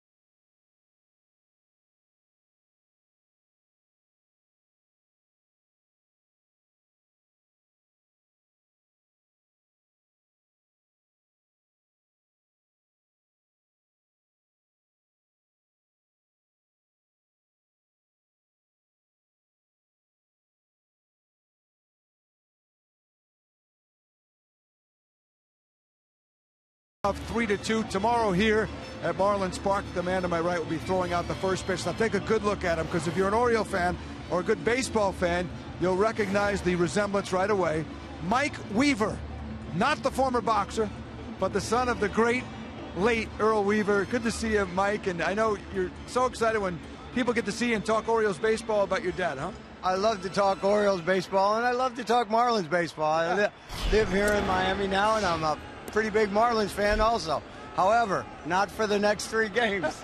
next three games, I'm straight O's. Your dad, Hall of Fame manager for younger fans, uh, won the World Championship in 1970. You had the, the bitter loss to the Miracle Mets in 69. Broke your heart, huh? Oh, broke my heart. A college kid crying in his first year of college. That was my dad's first full season, and the amazing Mets came back and got him. Now we see all these stolen bases in this series. The Marlins got some throwouts in the last series. Your dad didn't like the stolen base. Ah, he wasn't. He didn't like to give up outs on the bases. What he say? Only got 27 outs. Don't be giving them up on the bases. He was pretty much a stickler for that too.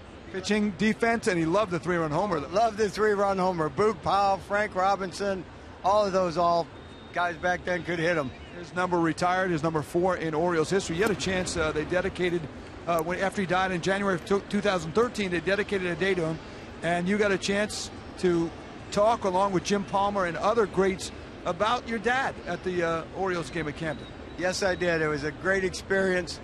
Needless to say, I was quite nervous out there with all those professional speakers, uh, Brooks Robinson and Jim Palmer. Well, I think I held my own okay. Yeah. What made him a great manager? Wins, his competitiveness for one thing.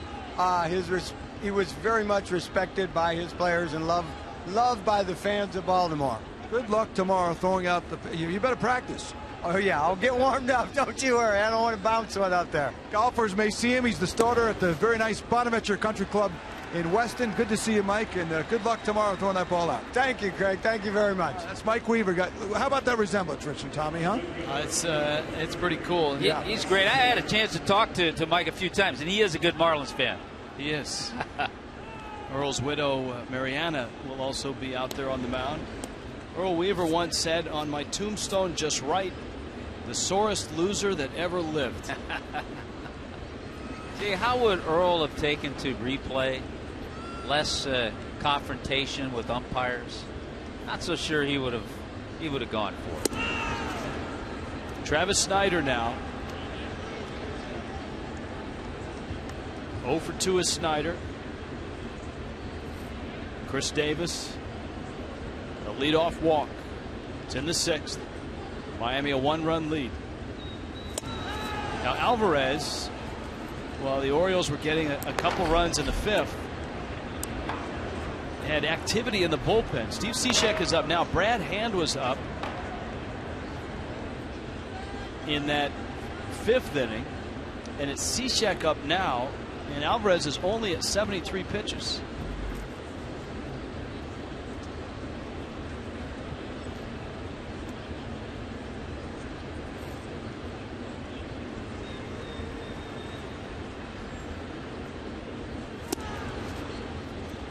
All of command not quite there the way it was through the first three innings. J.J. Hardy, third man scheduled.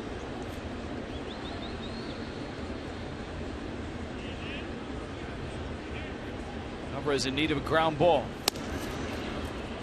And he misses on four pitches. So back to back walks to open the sixth. Wednesday, an epic international showdown. The United States men's national team takes on Mexico. The Americans look to extend a four year unbeaten streak against their historic rivals.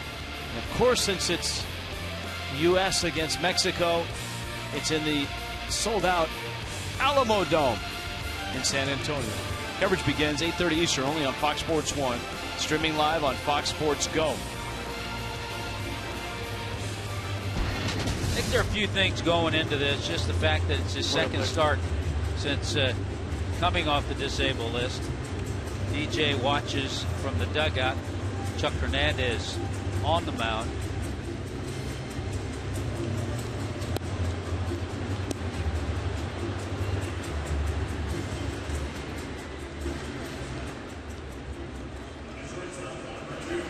Think about this Orioles team too, the way they've put it together. No Nick Markakis this year. No Nelson Cruz this year. Of course, Markakis with Atlanta, Cruz in Seattle.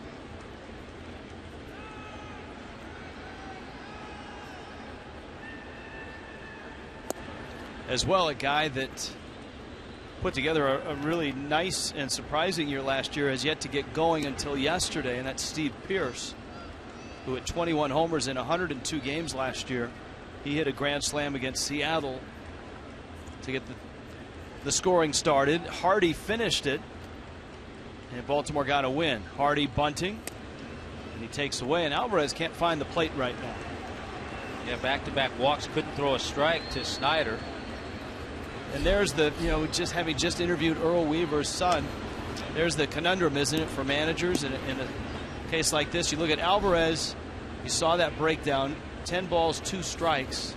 Do you give him an out with the sacrifice bunt? I'm really surprised that Hardy's bunting here, actually. Guy that has uh, power potential. He is having an off year, and that's probably why. De Aza is on deck, bunting. And Alvarez misses. And it counts 3 and 0. And I now, the other thing we don't know, he might not be bunting. Some guys will just do that if they're in a take situation. They may be forcing Alvarez to throw a strike, and he hasn't.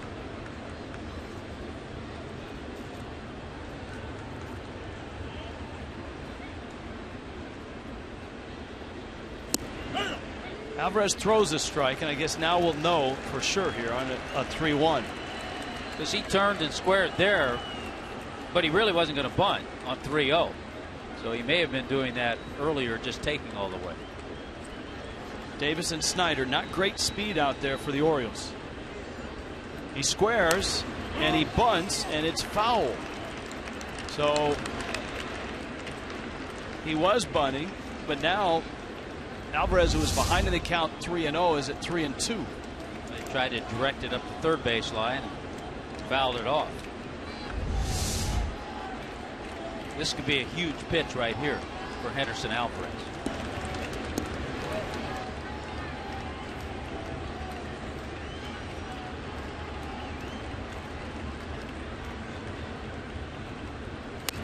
He bunts it. Alvarez turns and throws it away. Down the left field line. Into the corner it goes. One run scores. And the game is tied, and Alvarez had the opportunity to get the out at third, and he airmailed the throw. Wow.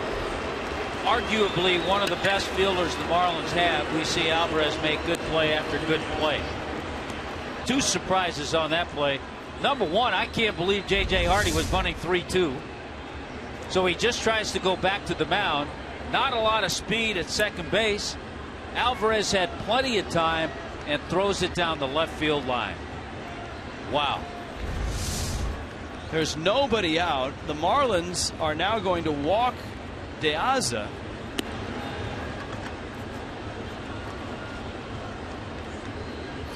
Aza. You got Joseph on deck. Now, if they're walking De Aza, does that mean that Cishek comes in to face Joseph? I, I would have to think so because you have a pitcher out there struggling to throw strikes. The last thing he wants to do is deal with the bases loaded. And by walking De Aza intentionally, that's the situation at hand.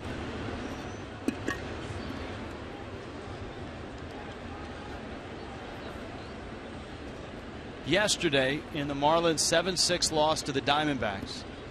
They misplayed two bunts. On neither did they get an error, but on neither did they get a key out. And as expected, DJ making the move.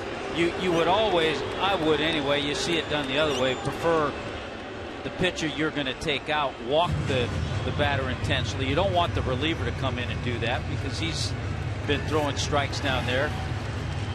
So an inning that's just kind of unfolded here. Here comes Cishek. There goes Alvarez. Kendall Toyota called to the pen.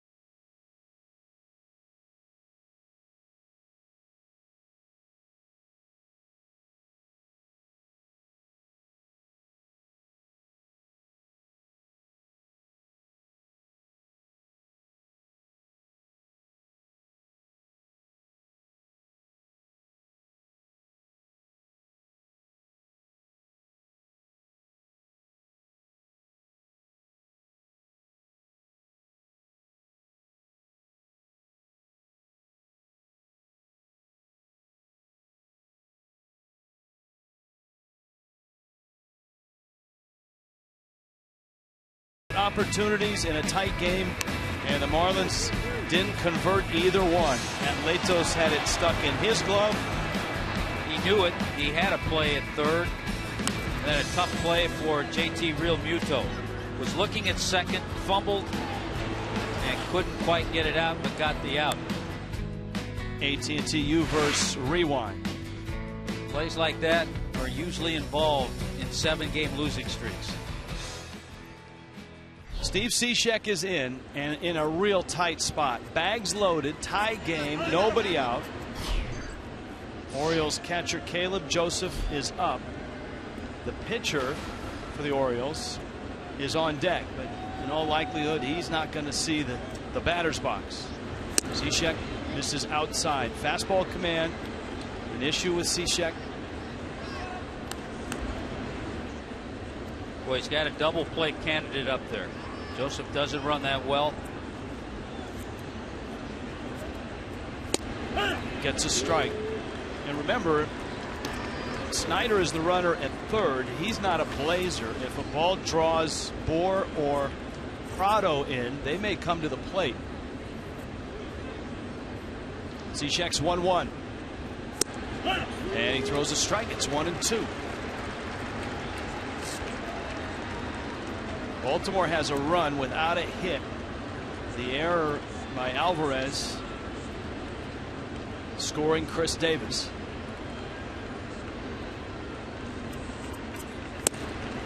It's out. Two balls, two strikes.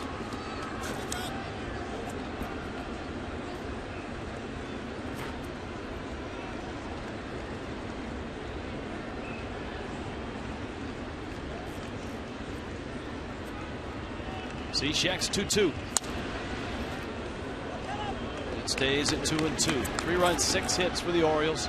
Three runs, seven hits for Miami. Henderson Alvarez disappeared briefly down the uh, runway to the clubhouse and quickly is back out on the bench. Trying to help Steve Cishek get through this. 2 2 coming. Joseph in the center. That's a base hit. It'll score Snider. Hardy's right behind. And the Orioles get a big hit. Take the lead. 5 3. Still nobody out. Had a couple strikes on him, but the the problem for Steve Cishek all year has been location, location. Up a little bit, middle of the plate, and with two strikes, Joseph with a solid, solid swing. Yeah, come on!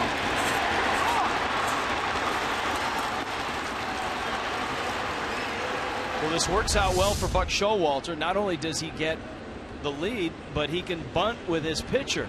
Yeah, he may have gone in another direction. It's a foul ball. Depending on where the runners are, how many outs there were, he may have pinch hit in this situation, but he has the luxury now.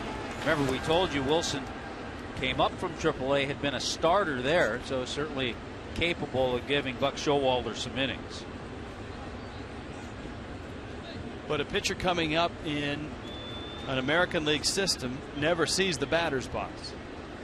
In the minor leagues, double A and above, the only pitchers that hit is when a National League affiliate plays another National League affiliate. 0 2.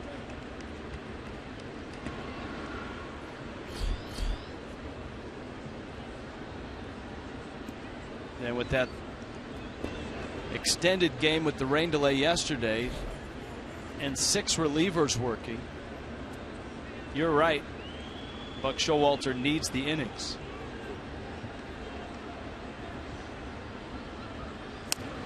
There's the bunt. Cishek has it. And the Marlins get it out, which hasn't been easy on the bunt play in the last couple of days. Baltimore is set up now with Manny Machado, the hometown kid, who could inflict even more damage here in the sixth. Three across. Baltimore has wiped out Miami's 3 0 lead.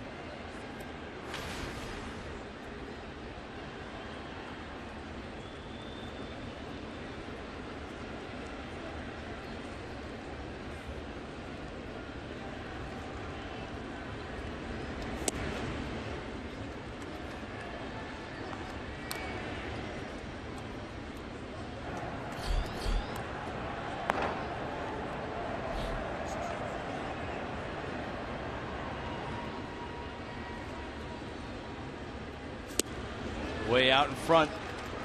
That slider, it's one and one.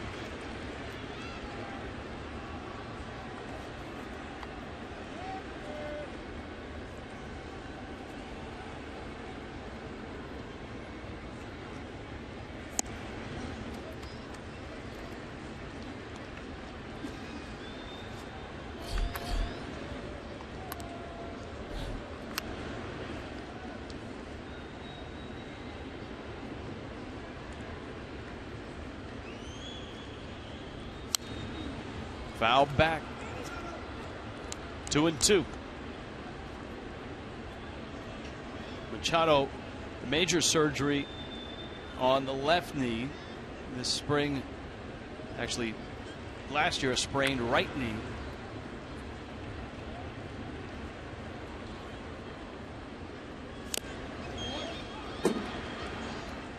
Count two and two.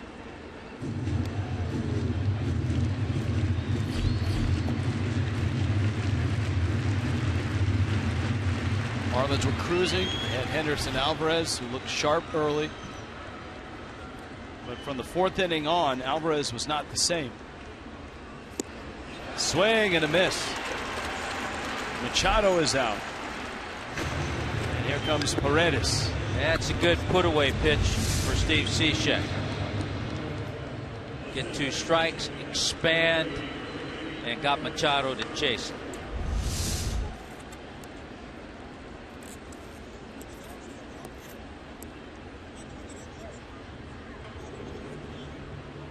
Jimmy Paredes is one for three.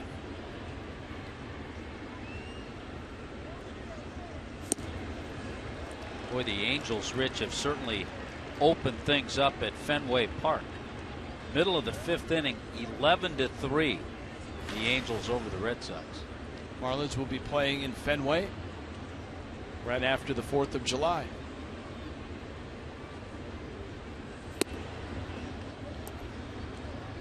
Next opponent for Miami, Pittsburgh.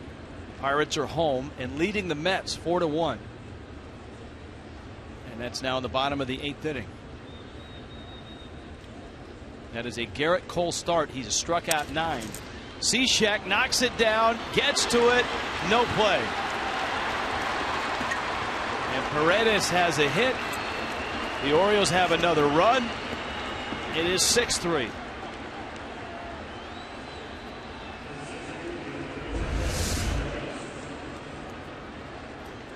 Pretty good pitch.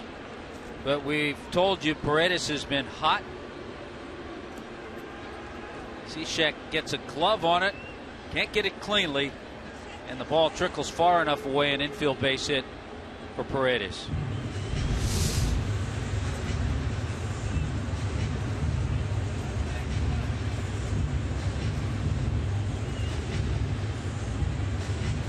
Well, it's 6 3 lead now. But Cishek has to face Adam Jones. And Dan Jennings is going to take the baseball. Cishek exits. And Miami goes deeper into the pen. A Kendall Toyota call to the pen.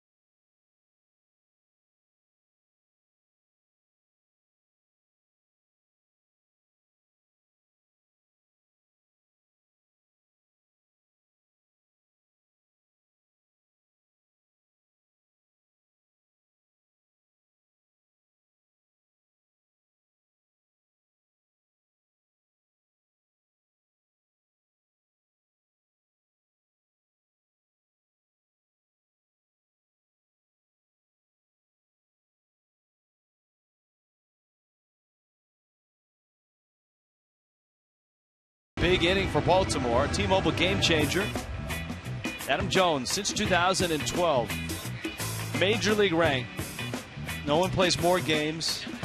Only two hit more homers. No one's driven in more runs as an outfielder since 2012.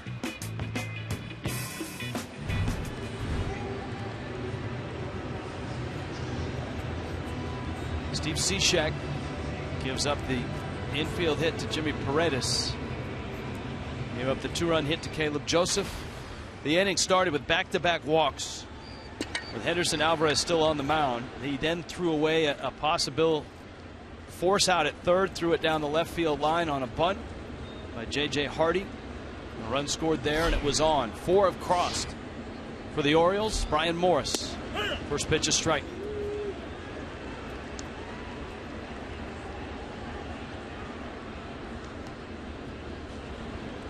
Word of encouragement there from a guy who's seen a lot in this game, Frank Menechino.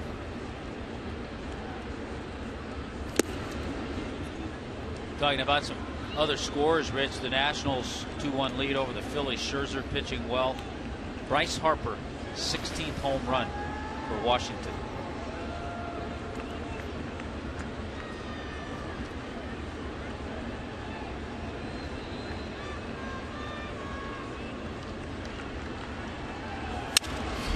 Broken bat roller. Gordon has it and gets the out. But Baltimore with four runs takes the lead 6 3.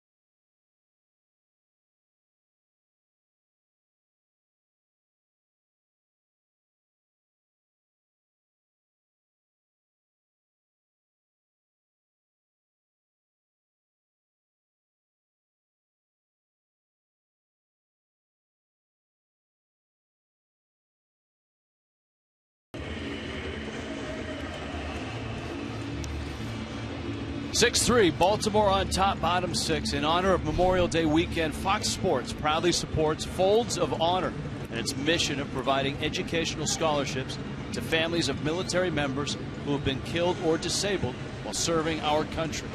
For more information, visit foxsportsupports.com. Miami tonight, Baltimore and Miami opening a three game series. The Marlins in the throes of a seven game losing streak. A run of 11 games of which they've lost 10. A 3 0 lead has disappeared. Baltimore is on top 6 3. Adeiny Hechavarria leads it off. Tyler Wilson still in there. Wilson's breaking ball misses in. Wilson, his second inning in relief of Ubaldo Jimenez, who went just four. So if Baltimore holds the lead, see Michael Morse on deck. Tyler Wilson could qualify for a win. This is just his second appearance in the big leagues. Brad Hand in the bullpen. Pitcher spot is up second. That's why you saw Morse with a bat on deck. So this right-hander out of the University of Virginia, Tyler Wilson, has a shot at his first major league win. Hechavarria has his third hit of the night, and they've all been well struck. Two line drives to left center, and that one to right. Boy, he has, Rich. He's had three just perfect swings. Staying on the ball. Frank Menechino, Lenny Harris, they're loving these swings from Hechavarria tonight.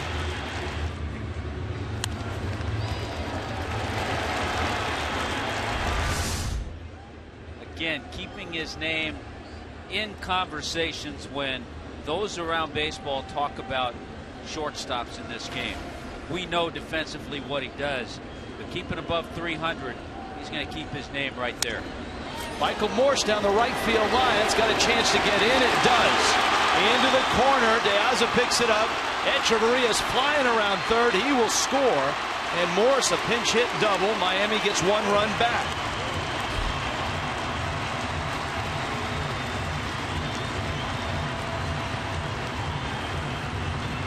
Really struggled in 12 games with the Orioles last year. So happy to do that. He hasn't had a whole lot of pinch hit opportunities. It's only his second pinch hit at bat this year. He's one for two. Nicely done. Just like that. A quick run.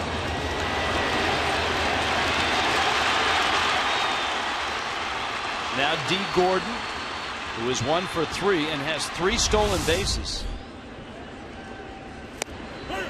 Takes a strike. Singled in the first, stole second, stole third, and scored on a Stanton base hit. Bounced out in the second. Struck out in the fourth, but on a wild pitch, he reached first. That's how he swiped his third bag. Pulls a ground ball into right field. That's a hit. Morse will stop. Gordon's got a, another single. And there's nobody out. Runners at the corners. Now you get into Ozuna, Stanton, and Prado. And picking up this first win in the big leagues. Turning out not to be a, an easy chore for Tyler Wilson. Good to see Dee Gordon getting back on track. It's his 19th multi-hit game. Davis can't get it. Paredes can't get it. And no sense taking any chances with Morse, especially with nobody out.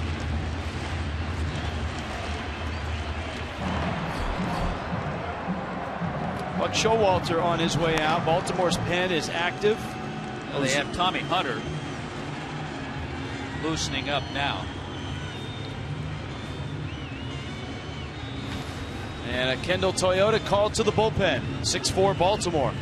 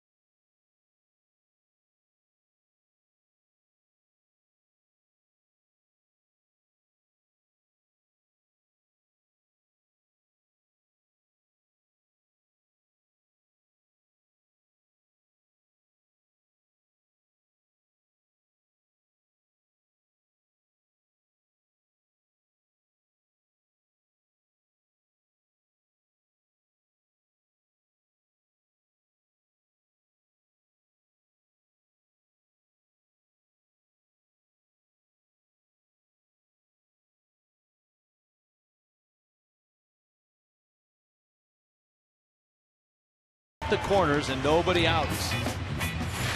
Sunday, this series finishes on a Sunday fun day. Marlins and Orioles at 110. You can pick up the Pepsi 4 for 74 pack. Get you four tickets, four KMB Franks, four Pepsis for $74. Kids get a Marlins batting practice pullover, courtesy of Stanley Tools. Kids can run the bases in the Diamond Dash.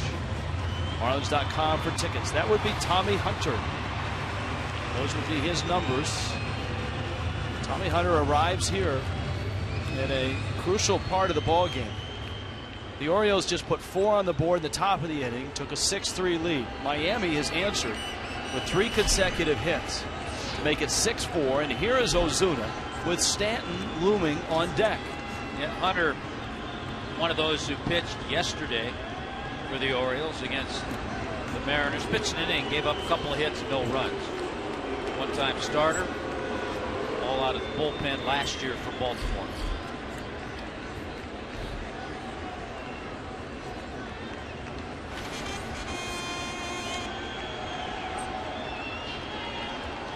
Ozuna takes breaking ball out. That's kind of how Baltimore has pitched him tonight. And Ozuna has popped up two of those pitches and knocked in a run on a fielder's choice ground ball.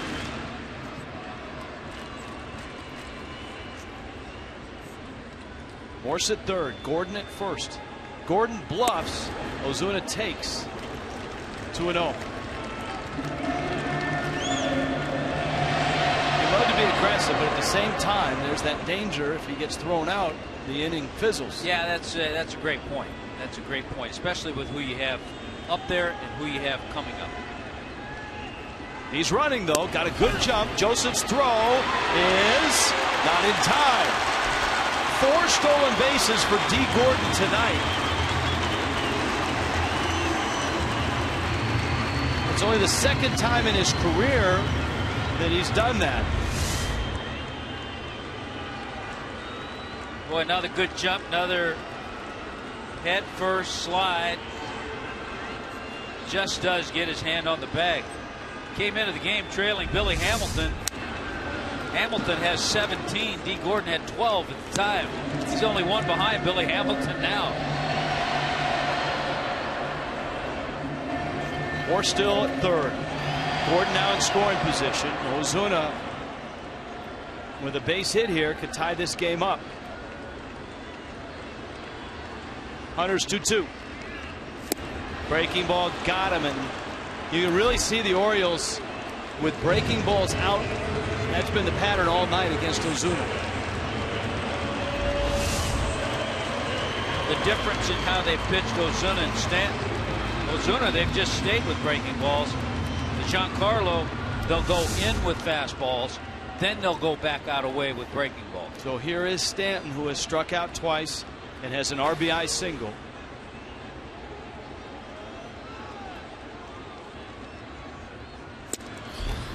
Hunter misses out 97 on the fastball.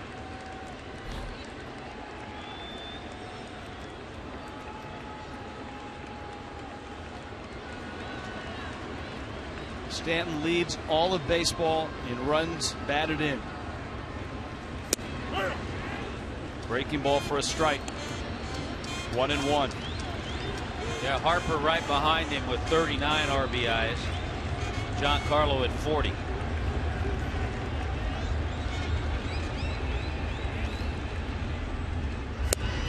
That's a strike.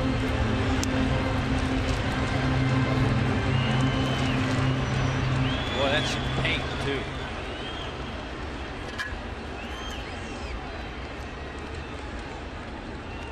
One two coming. And he reached out and popped up the breaking ball, and Davis behind the bag makes the catch. And if the Marlins are going to squeeze anything more out of this inning, Martin Prado, Justin Bour on deck. Boy, Hunter made some perfect pitches. Once he got to that two strikes, you know he was going to stay away.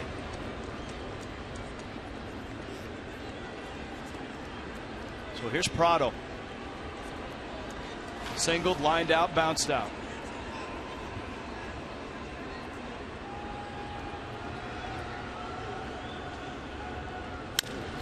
Chopper, diving stop there. Machado got him. Manny Machado, a gold glover two years ago, showing off in his first game back in Miami. 6 4 Orioles.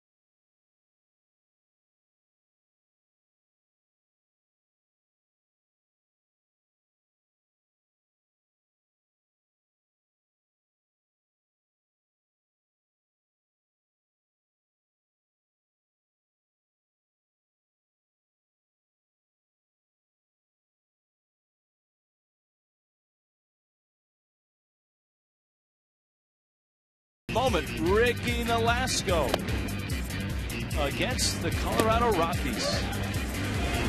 And on this moment, on this night, Ricky Nolasco would break Dontrelle Willis's Marlins win record. 69th win for Nolasco. Nolasco in 2006, his rookie year on this date. Remember that? It is only home run. That was against the Cubs, and it was at forget what name it was, Land Shark, Dolphin, Dolphins. One of those. Had a nice chat with uh, Ricky's brother David, who we used to see all the time when the team went out to the West Coast. Saw him in L.A. Or if Miami is going to come back in this game, they're going to have to quiet down Baltimore's bats. Brad Hand Chris Davis, Travis Snider and J.J. Hardy. So you got a couple of lefties first off in Davis and Snyder.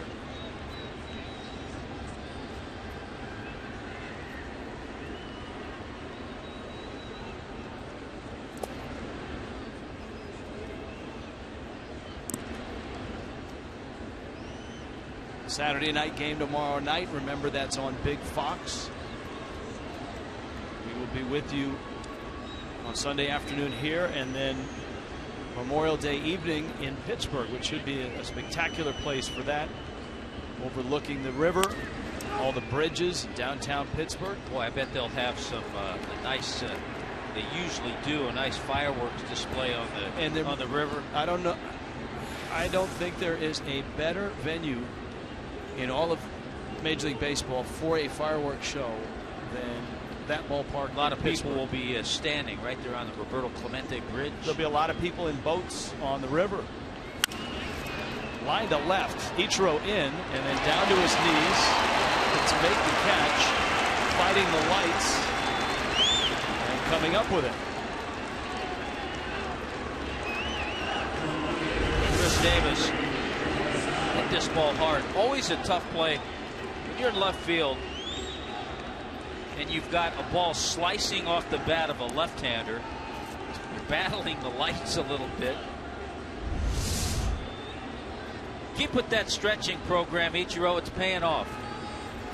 He, Davis hit it on the button. Ichiro is 41, and I will bet you he's the most limber player in Major League Baseball. Without question. I have never seen a player be able to do the things that he does, stretching wise. Even in the on deck circle, he has a routine that is uh, is captivating when you watch. Well, he, he's constantly stretching, so he's. You're right. He, he's the most limber guy in in this game.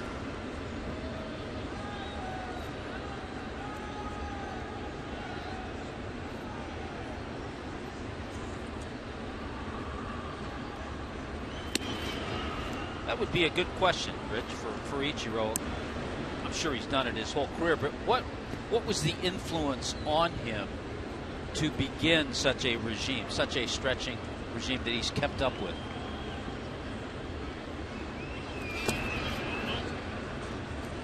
No swing. Well, he has his own set of six weight machines, which, if you look at them and you've done any weight training in the United States over the last 15, 20 years, they look like they're from 1975, Like out of the uh, Nautilus era. pre Nautilus era.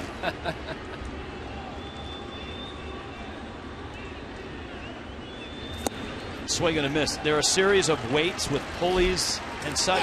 But when he gets on them and starts rolling, you realize right away they are designed for flexibility and strength.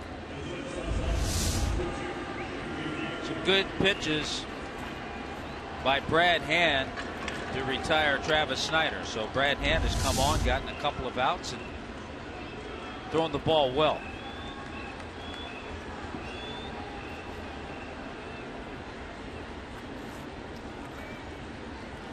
Now, J.J. Hardy, key moment in this ball game was Hardy in the sixth against Henderson Alvarez. Alvarez had walked the first two hitters, and Hardy, with a 3 2 count, tried to bunt, and he did bunt. He laid it down right in front of the mound. Alvarez picked it up, spun and threw, and he threw it down the left field line. And and I said at the time, I think one of the surprises, the fact that he was bunting on a 3-2 pitch. The Orioles not only would erase Miami's 3 0 lead, they'd score four times after that. It's 6 4 now.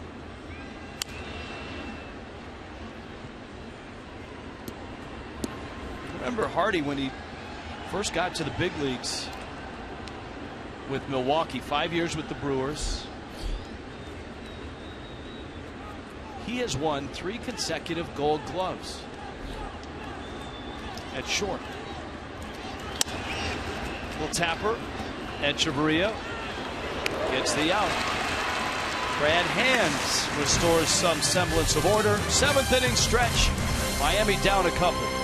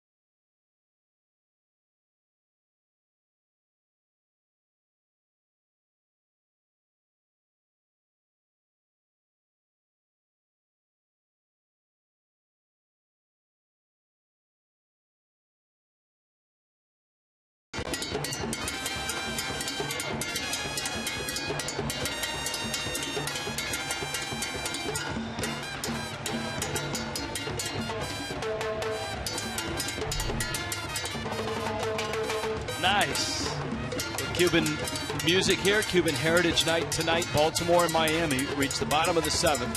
Justin Bour, JT Realmuto, and Ichiro against Tommy Hunter. Talk about a guy who hasn't had any luck tonight. Justin Bour, line drive to left for one out. Then he hit that ball sharply to first off the glove of Davis, deflected to the second baseman. They completed the 3 4 1 putout. Bour cracks one deep, but foul. Bour hooked a hard shot in that ping pong between Chris Davis and Jimmy Paredes, first and second. Paredes was able to get the ball to Tyler Wilson and get Bour. He lined to left back in the third. He's had some good swings tonight.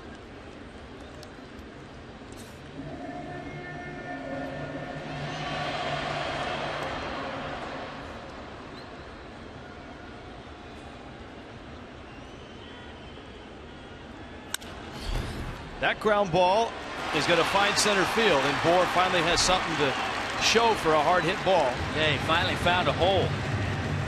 Singles to center. His at bats have been good all year, Tommy, and, and you expect that Bour is going to see more and more playing time, especially if the Marlins struggle to, to score runs, as they have been. Well, without question, and also getting into some of the schedule where the Marlins will go into New York, into Toronto, uh, play the Yankees, play the Blue Jays, into Boston, and you got your DH right there.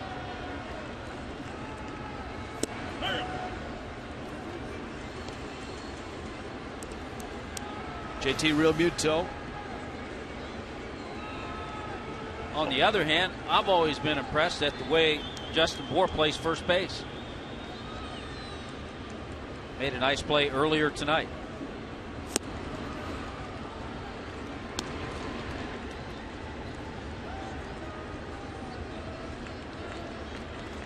And Chris Davis chatting over there, A pair of left-handed power bats. Had some pop over there. Davis obviously been in the big leagues a, a long time.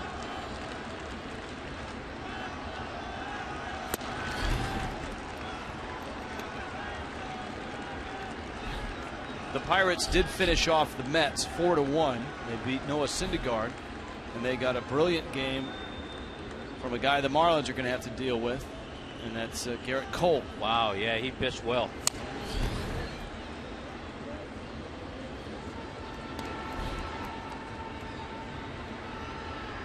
Eight third inning, struck out 10.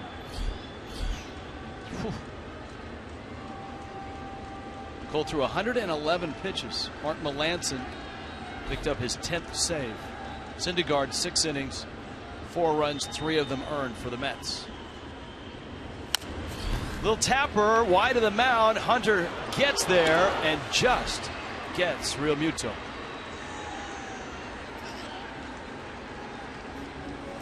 And here comes Ichiro, who's had a, a one for two night. Tell you what, it took an above average effort to make this play because of the speed of JT Realmuto. Rolls over on that pitch, it was up. Hunter able to recover because he falls off a little to the first base side, changes direction, and threw about a 95 mile an hour fastball over to Chris Davis.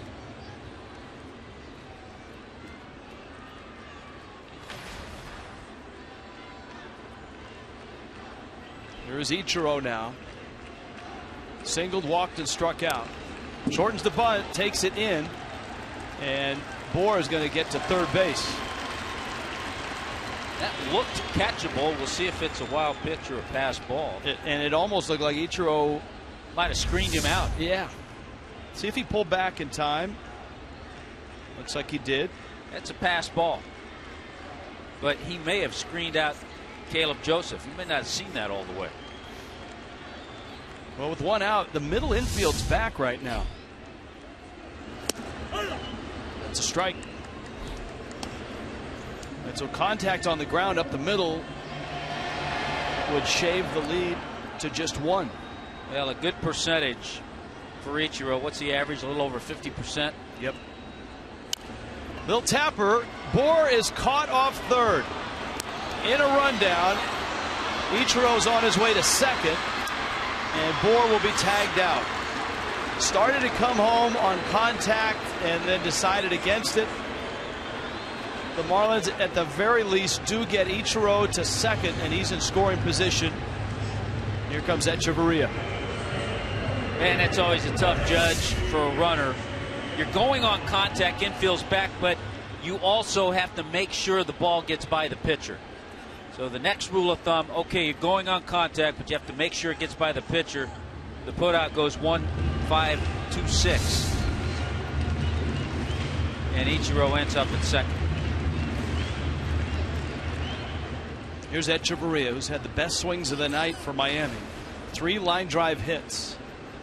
Dave Wallace, the pitching coach for the Orioles, is coming up. Now, you've got Hechavarria here, and then the pitcher spot is up next. Christian Yelich is available. Jeff Baker, Donovan Solano.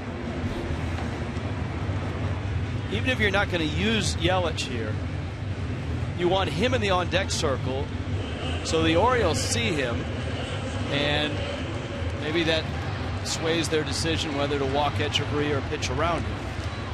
In all likelihood, you would use Yelich. You know, a, a, little thing. I would also rather have the pinch hitter up there other than the pitcher in case there's a play at the plate to have him let Ichiro know what to do. And a little better view of the pitcher that you may face as yes. well.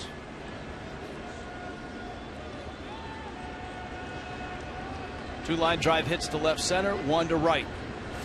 Check swing, ball in the dirt. Did he go? No swing, says Jordan Baker.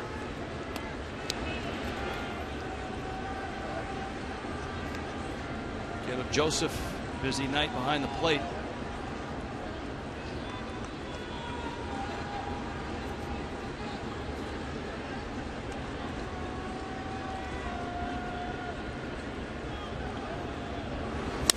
Breaking ball, Hechavarria into the bat. And Adam Jones wanders over and makes the catch, and the Marlins leave that runner out in scoring position. Baltimore 6 4.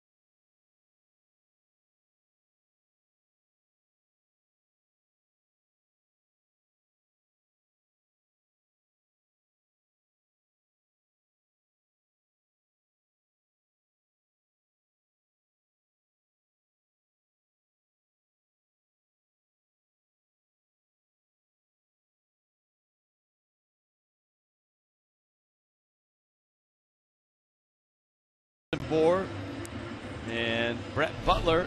Uh, talking over that uh, play at third base with the infield back on the chopper back to the mound. Game summary if you're just joining us, Miami jumped to a 3 0 lead, held that lead into the sixth. That sixth inning, we talked about the bunt play, which certainly was a thorn in Miami's side yesterday. They misplayed two bunts, and here tonight, Henderson Alvarez threw one down the left field line. That opened the gates for a four run inning. It is 6 4. Alejandro De Aza, Brad Hand. The eighth inning begins.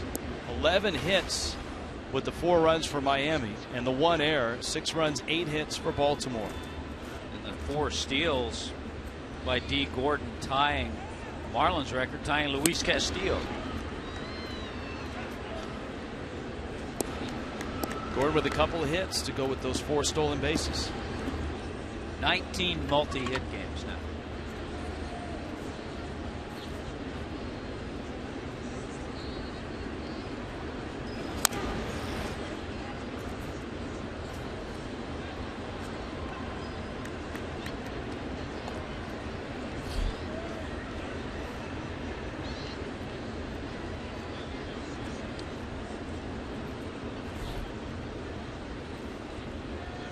In that sixth inning, Alvarez walked three men, one of them intentionally. All three of them scored. And he contributed with his own error. Gave up six runs, four earned runs.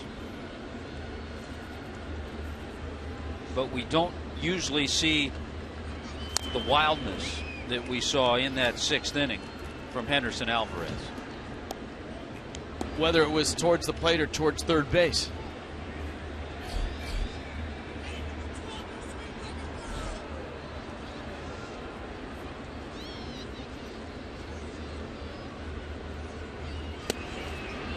And misses up, counts three and two. Obviously, a Friday night, full schedule in baseball. The Nationals outlasted the Phillies two to one. Tommy pointed out Max Scherzer is 5 and 3. His ERA is 167. How about Drew Storen with his 13th save? A walk to De Aza. The Mets beaten by Pittsburgh in Pittsburgh. Gerrit Cole striking out 10 in 8 innings. Noah Syndergaard the loss. He's now 1 and 2. Cole 6 and 2. 4 1 Pittsburgh.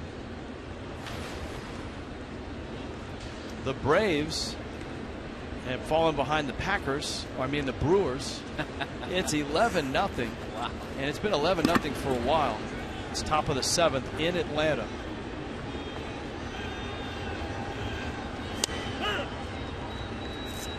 How about the Cardinals in Kansas City? Kansas City with a 5 0 lead. It's only in the fifth inning.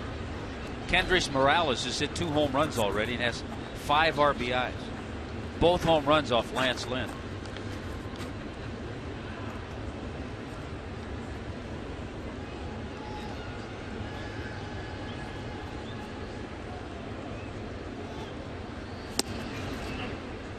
Joseph trying to bunt, and it's 0 2. Steve Pearce is on deck.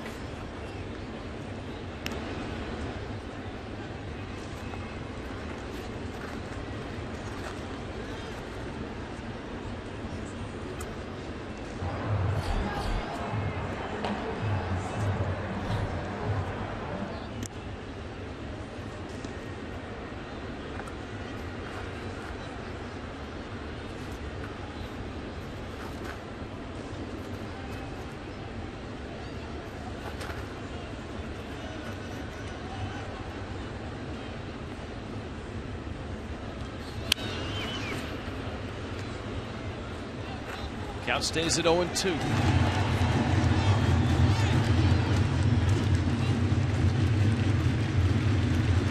where Ryan Braun's homered in that Milwaukee bashing of the uh, Braves. Of course, you couldn't say that a long time ago because they used to be the Milwaukee Braves. It's true.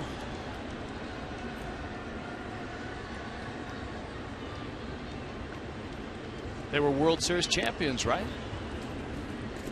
Back in the 50s? 57, maybe. Was that at Old County Stadium? That's where they played.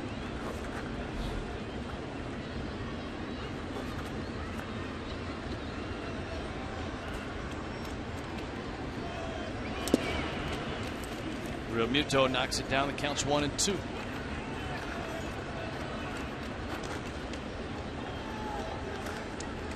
A lot of long balls tonight. Prince Fielder having a comeback here with Texas. He's hit a couple of home runs already. The uh, Rangers with a 10 to 5 lead against the Yankees.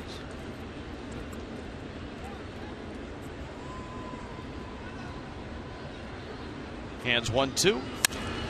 Line shot over the head of Gordon into center. Ozuna picks it up. De Aza not slowing down. Caleb Joseph with a protracted at bat. Some solid contact.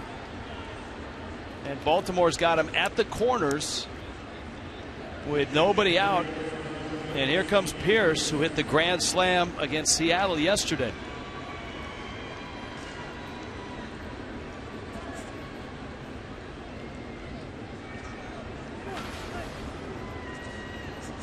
Marlins bullpen in action. See Chuck Hernandez.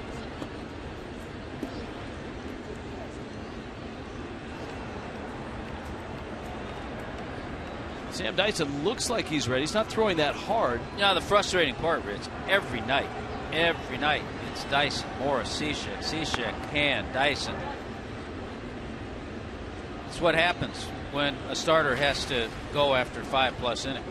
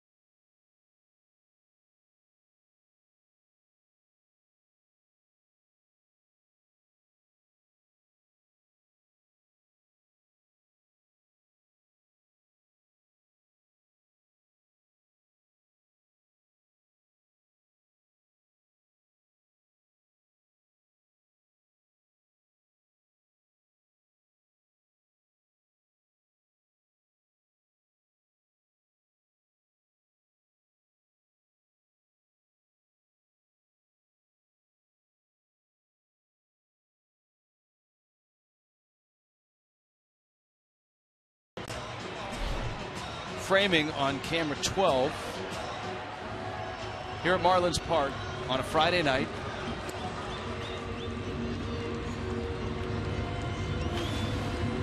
Sam Dyson out of the bullpen.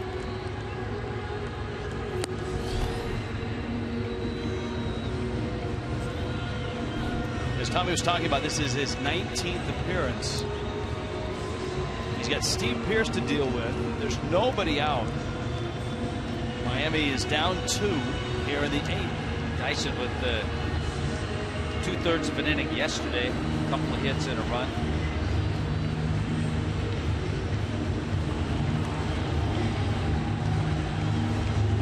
Plate umpire Paul Emmel was over getting some new baseballs. See Alejandro De Aza, he's at third base. Caleb Joseph had that long at bat. He's at first. Buck Showalter got a big pinch hit in the fifth inning. RBI double from Delmon Young. And sends up another pinch hitter here. You mentioned earlier in the game Pearce with a big grand slam for the Orioles yesterday. Ground ball, Prado spins, throws home, and gets him. What a play by Prado. Fully outstretched. Somehow he was able to balance himself and get a fast runner. De Aza is not slow, and he's not happy with himself, is De Aza. I'm not sure De Aza came hard.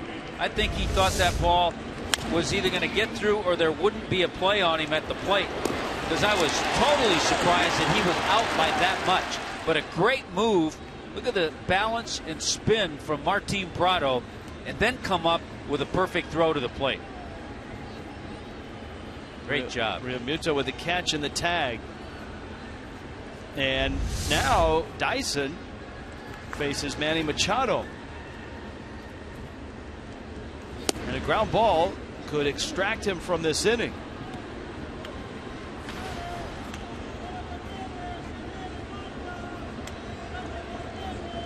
Joseph, the runner at second. Pearce at first.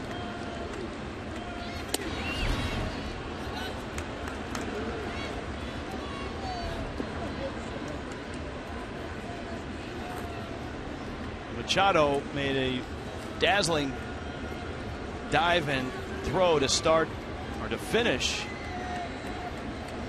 a Marlin threat. That was in the sixth inning. Clobbered, and that one goes by Prado and down the line.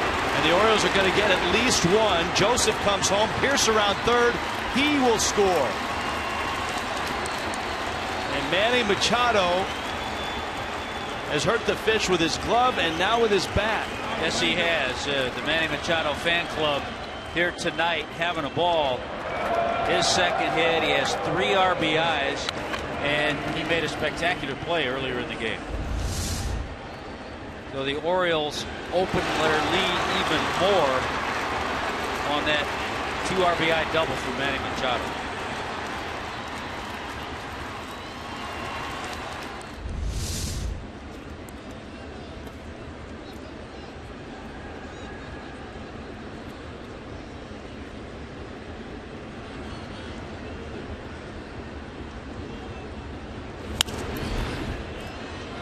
Jimmy Paredes now.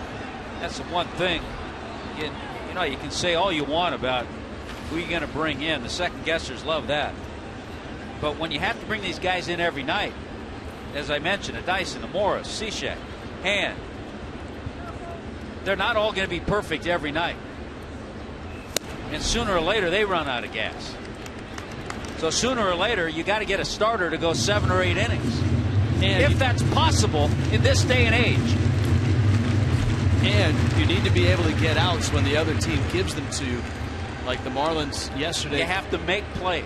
Failed to do on two bunts. And tonight, on that ill-fated throw by Alvarez in the sixth inning. And that opened the door for four runs. The Orioles have walked right through and taken an 8-4 lead here in the eighth inning.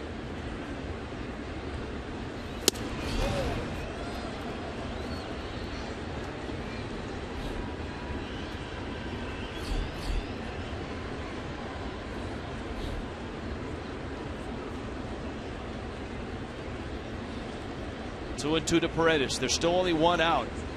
It's a four run lead for Baltimore. That one cracked into center field. And that's a base hit. Holding third is Machado. And the Orioles are teeing off right now here in the eighth inning.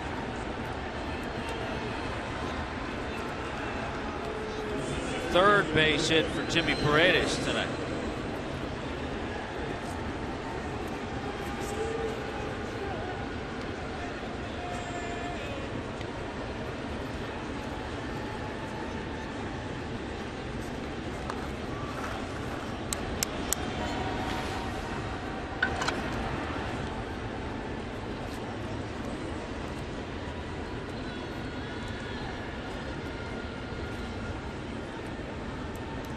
Jones. Prado backhand play. He's going to get the out at first. That's not an easy play to make.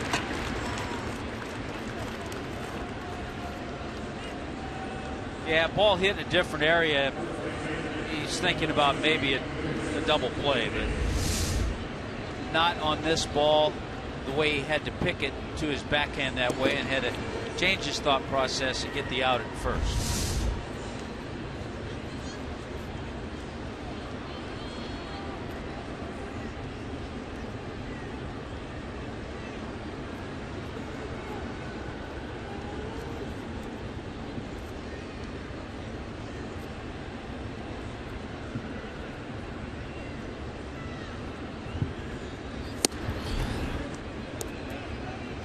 Chris Davis now with two outs. Henderson Alvarez went five, gave up four. Steve Cishek, two thirds of an inning. Cishek actually gave up two hits. None of the runs he gave up went to his line. They ended up on Alvarez's line. Bryan Morris, the third of an inning. Brad Hand, two runs in an inning. And those two runs on base hits allowed by Dyson.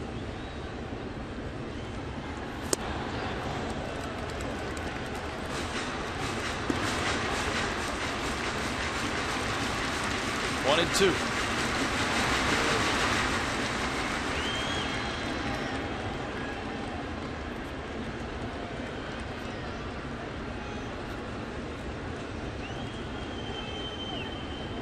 Talk about, we had the, the great interview with Earl Weaver's son. You talk about the three run homer associated with Earl Weaver, but he also had guys like Palmer, Cuellar, McNally, and Dobson.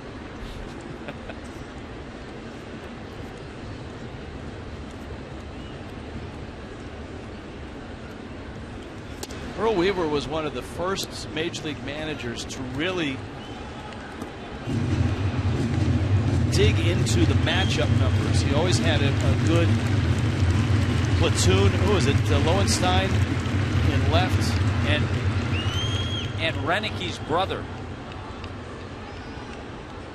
That was the platoon. Renicke and Lowenstein in Yeah. left.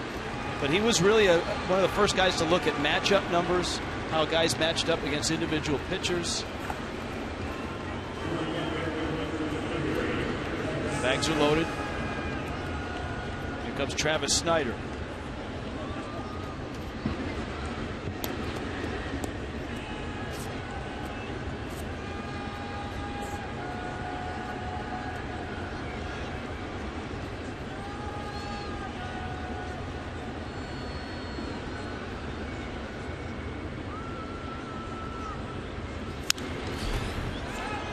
Get a chance to talk to Ron about his brother Gary. But we will get a chance to chat with Craig Counsell when we see the Brewers. Two outs, two more runs across for Baltimore. 8 4. Orioles on top.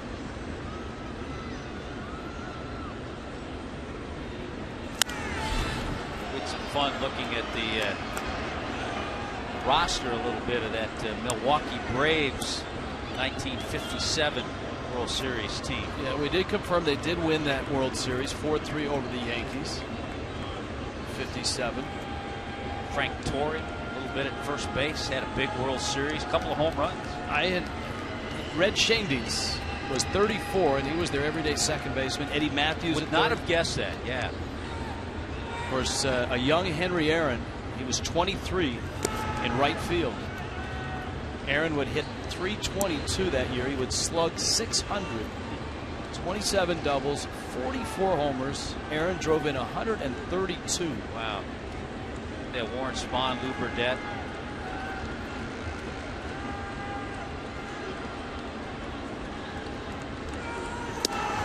You know who also pitched on that team? The father of Turner Sports, Ernie Johnson. Ernie Johnson. Ernie Johnson.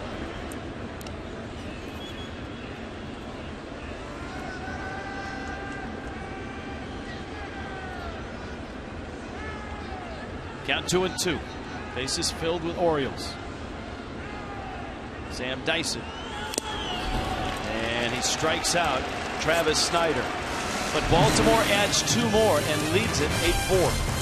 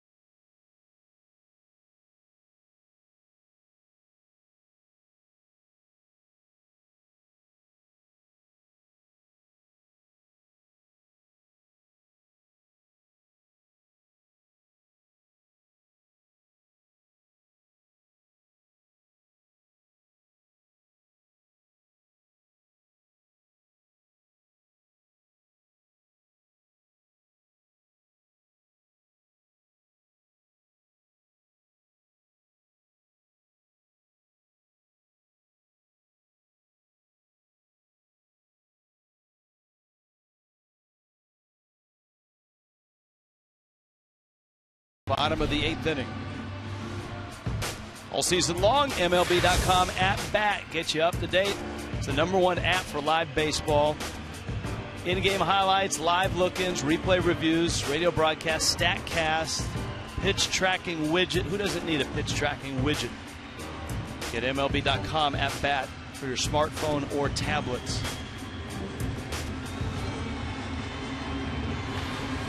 Brad Brach in for Baltimore.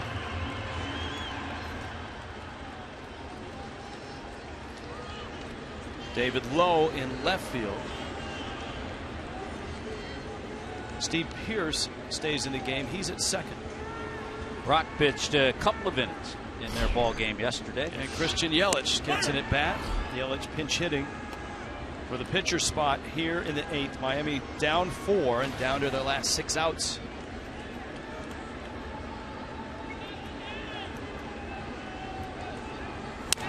Yelich a tapper out towards short. And Hardy in the dirt. Davis picks it. There's one out.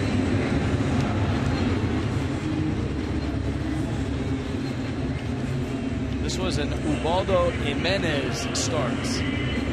Four innings, seven hits, three runs, and of course, four innings means no win. Tyler Wilson went an inning. Tommy Hunter went two. And here is Brad Brach. I would say if the Orioles go on and win this game, Tommy Hunter could possibly get the win.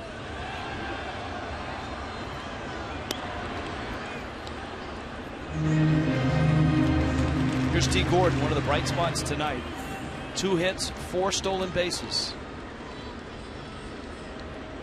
When he came out smoking in the first, line drive single to center, promptly stole second, then stole third, and then scored on a Stanton hit. And I guess that's the alarming thing about the last two ball games. The Marlins had a similar script yesterday. It was a one-run loss, but they had a three 0 lead. They came out and put three on the board early. That's a roller out to short. Hardy in the dirt. Davis picks another. Well, that's been a, uh, a constant. The last two throws from J.J. Hardy, he's gotten picked by Davis. But you're right. The, the Marlins played the first four innings. They came out and played really aggressive. They got some things going. They made some plays. Dee Gordon was a spark. There's that pick by Davis. And then it's really after that throwing error of Henderson Alvarez, everything just kind of crumbled.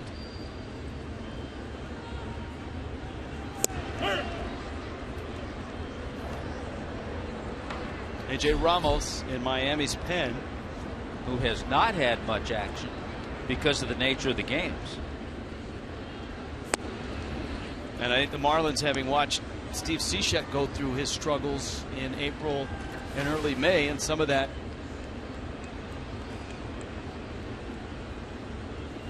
could have been a residual effect from not getting some work in long stretches of games in which the Marlins weren't in a position to save a game. It would be wise to get Ramos in and try to keep him sharp.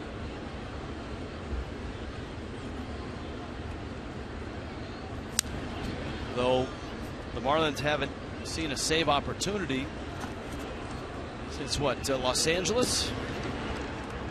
The beginning of this seven game skid.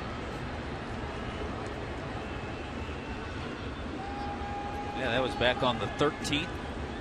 A.J. Ramos with his first major league save. 2 2. Ozuna cracks it into right field, falls for a hit. Piazza picks it up. And they will get Stanton at bat with a runner at first and two outs in the eighth inning. We've been kind of looking around at some of the home runs around baseball. The Yankees have closed the gap a little bit. It's 10 to 8 Texas. Pinch hit three run homer by Garrett Jones for the pinstripes.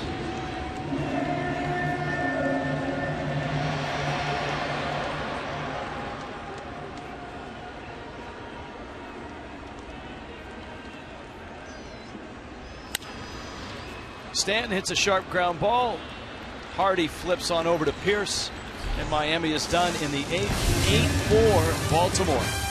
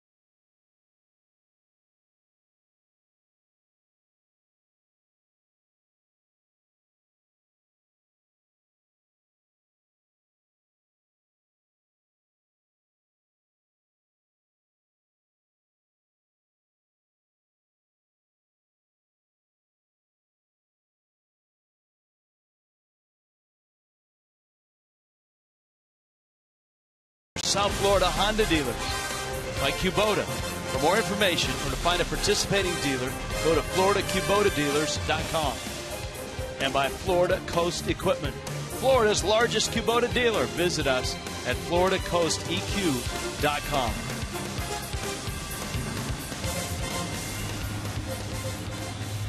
8 4. Baltimore on top, opener of a weekend series. And for Miami, trying to pull out of this tailspin, this would be eight in a row and 11 of 12.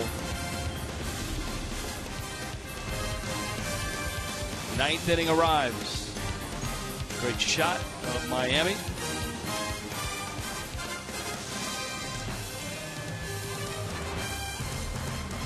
It would also be nine straight at home if the Marlins have lost. That would be too shy of a team record, which was set between the 94 and 95 seasons. Here's Ramos. Ramos in to get some work. And he throws a strike to J.J. Hardy.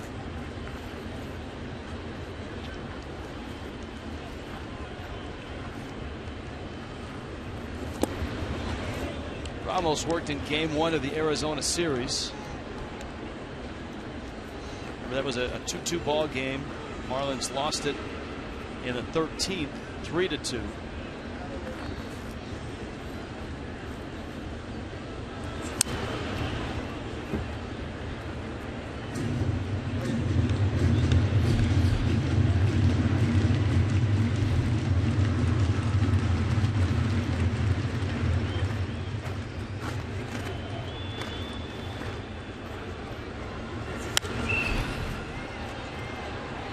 High pop behind the mound. Gordon makes the catch.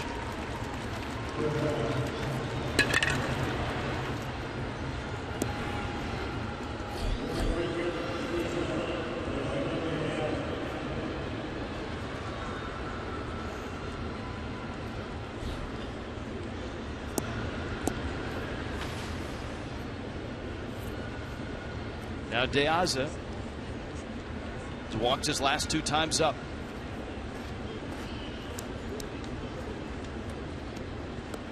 Well, one of the, the really great positives to this point, and there have been a lot of them, has been A.J. Ramos. Twenty in the third innings now. He's given up just nine hits. Has 26 strikeouts. Holding opponents to a 134 batting average. So it's really important to get him the work that he's getting tonight.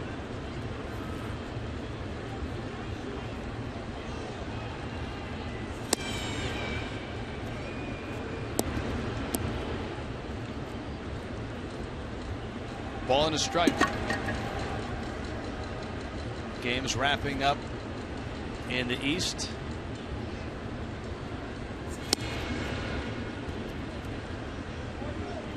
Told you that the Nationals beat the Phillies 2 to 1. Max Scherzer another win.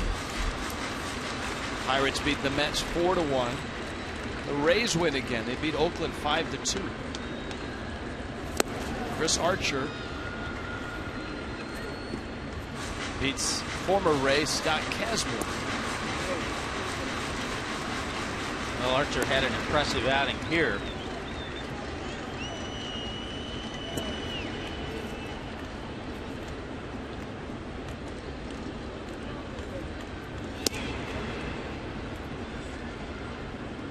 Full count, three and two.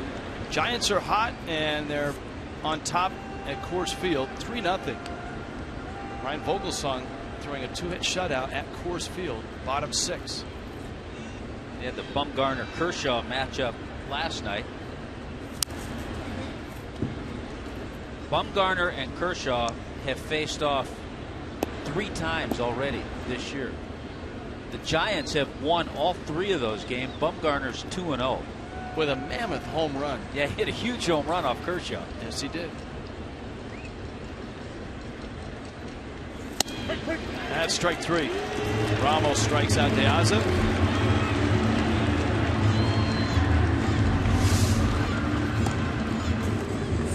Such a great assortment. Maybe got a little help from JT Realmuto and also from Paul Emmel. What the heck?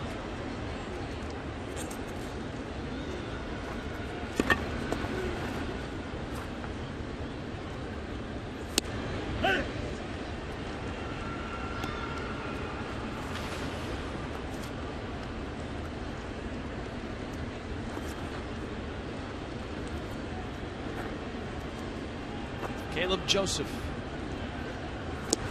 Now in that sixth inning, all the walks, Joseph off of Steve Cishek. Banged it into center field. First guy that Cishek faced.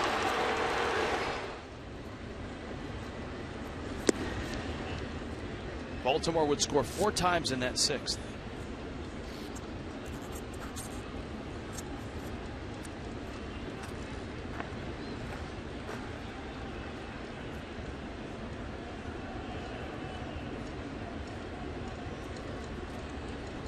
Cishek came in with the bags loaded in the sixth and nobody out and all three runs scored. Six runs, four earned. They all went on Henderson Alvarez line.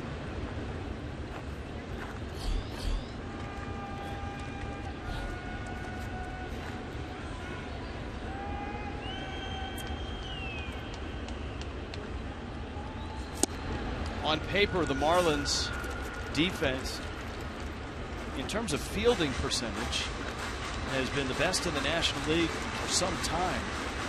But taken a little hit lately. It has. And even plays that weren't errors yesterday, those two bunt plays hurt them. Marlins have one error tonight. They have 17. Arizona has 17. So does Cincinnati.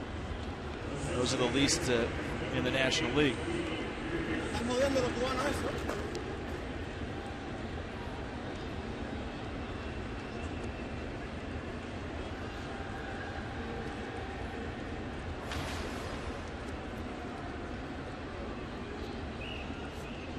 Pearce, his second at bat. Fouls it back. Steve Pearce had a real, real big year, kind of a breakout year for him last year. And this is a guy that's kind of been somewhat of a journeyman, 11th year pro, fourth year with Baltimore. Lakeland native from Lakeland, Florida. Originally a pirate draft. Just goes to show you, last year, played in 102 games hit 294 on base was 373 slugged 556 26 doubles 21 homers that's in 102 games and yet he was designated for assignment in late april nobody signed him baltimore signed him back and he would go on to have career highs in just about every category and was a a, a nice component to a division winner yeah, team that won 96 games. A lot of games, over 600 games in the minor leagues. Always hit, always hit in the minors. Always showed some power. So last year it was uh, Pearce, a guy that a lot of teams passed on. This year it's Jimmy Paredes who has been through waivers four times.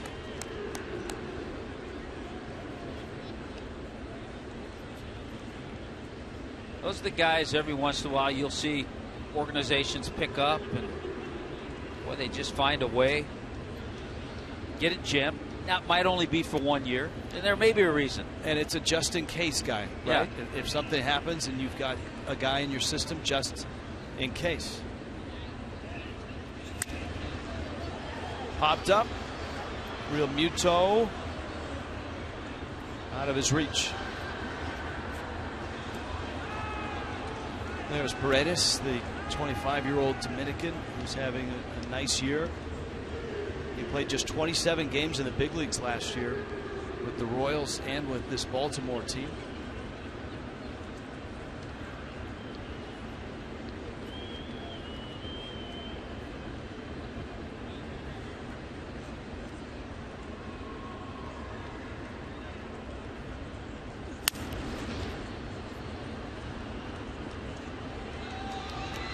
Baltimore had gone 14 years without a, a winning season, 14 years without a postseason. And Buck Showalter arrived in 2011. First full year, they were 69 and 93. That was the 14th year. And then 2012, 93 and 69. And a loss to the Yankees in the division series after winning the wild card game in 2012. Just think it could have gone another way for Buck Showalter when he was a minor league first baseman coming up in the uh, Yankees organization. But the guy who just seemed to play a little more first base than him, Don Mattingly. Showalter would manage Mattingly in his first four years with the Yankees. Little bouncer. Ramos uh, skate save. Got the blocker down and gets the out. Scoreless ninth for Ramos. Miami needs four if they want to keep playing tonight.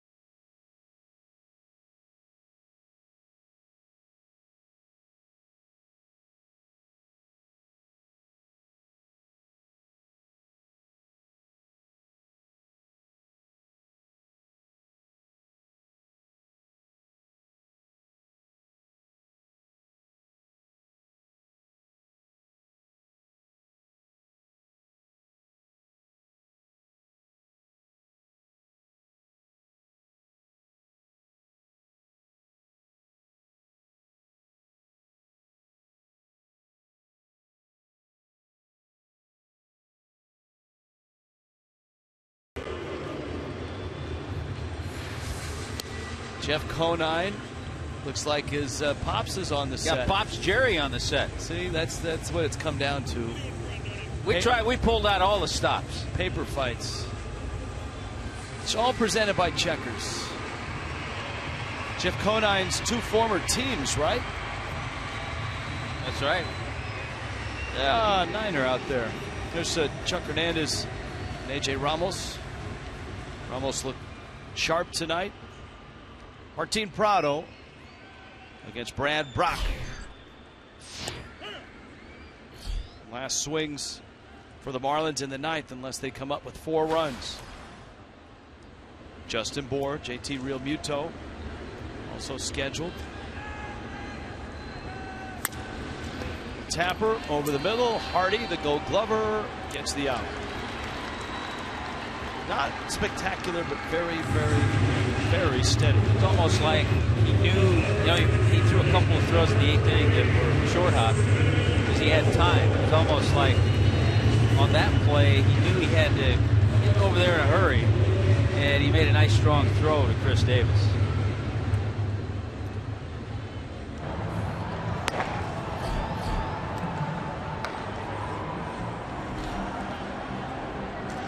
Their closer, Zach Britton, with nine saves, to get loose.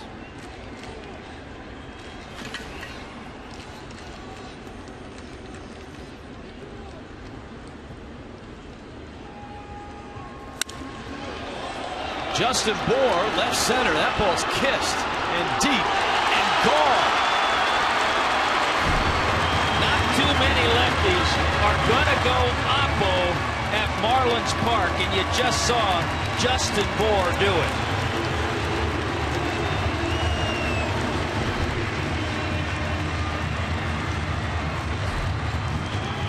Second for Bour, left center. That is a healthy, healthy distance. And that's, you know, the, the difference in Justin Bour in 2015 is just that, Tommy Hutton. He's not trying to pull everything. He is driving the ball to left center and doing it well. And you, you talk about a confidence boost when you do that.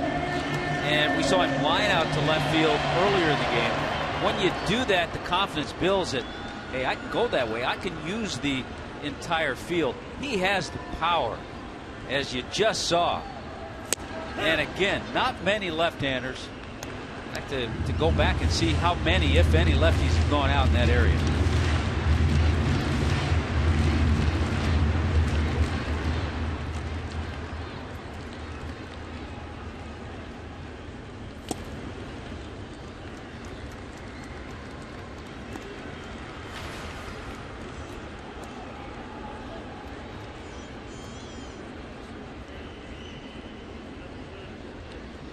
JT Realmuto.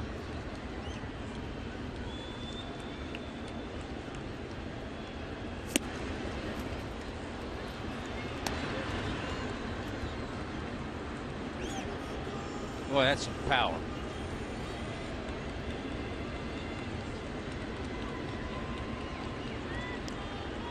Guys would say that's big man territory out there. Justin Bour is, is that.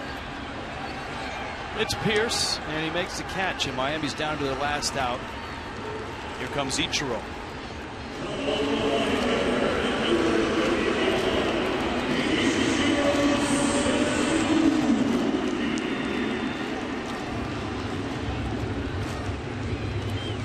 Ichiro fan club. Ichiro tonight, a little bit of history.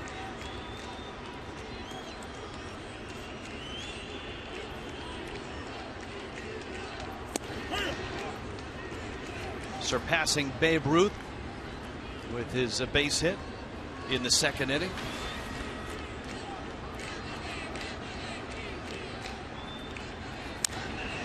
Little tapper up the line, barehanded, and it's down the first base line. Ichiro arrives at second. He'll probably pick up a hit. Yeah, that'll probably be, should be a hit, then an error, allowing him to get to second base. And it is.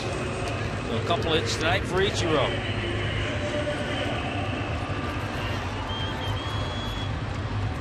And Buck Showalter comes on, and he's going to go to his uh, closer, and this well, suddenly sudden, becomes a save opportunity. Yeah, all of a sudden it's a save situation.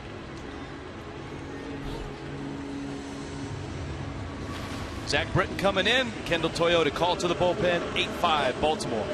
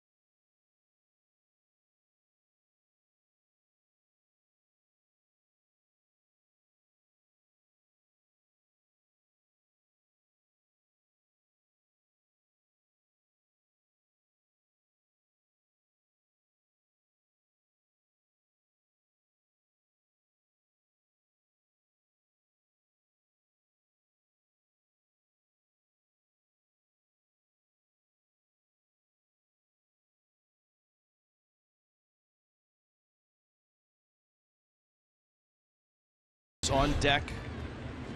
And so by rule, if Zach Britton can bail out Brad Brach, he gets a save. Denny Hechavarria with Ichiro standing out at second. Two hits for Ichiro tonight. Donovan Solano is emerged on deck. That's the pitcher spot. And then you've got Dee Gordon. Hechavarria three hits tonight. And Britton misses low. Rich, you talk about a lot of opportunities that have slipped away on both sides. Uh, defense and offense for the Marlins. The Marlins tonight are three for 18 with runners in scoring position.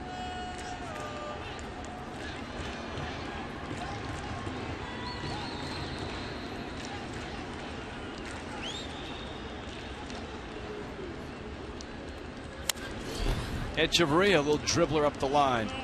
Zach Britton, one of those that's made the transition back in 11. He started 28 games. But a lot of fastballs, a lot of hard cutters.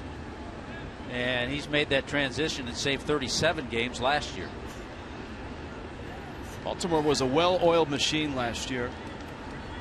They led the majors in homers. They had the third best ERA in the American League, despite pitching in a, in a hitter's park half the time at Camden Yards. Hechavarria, Britton spins and throws out. Hechavarria is out. The Orioles have won it. Marlins will look at the video.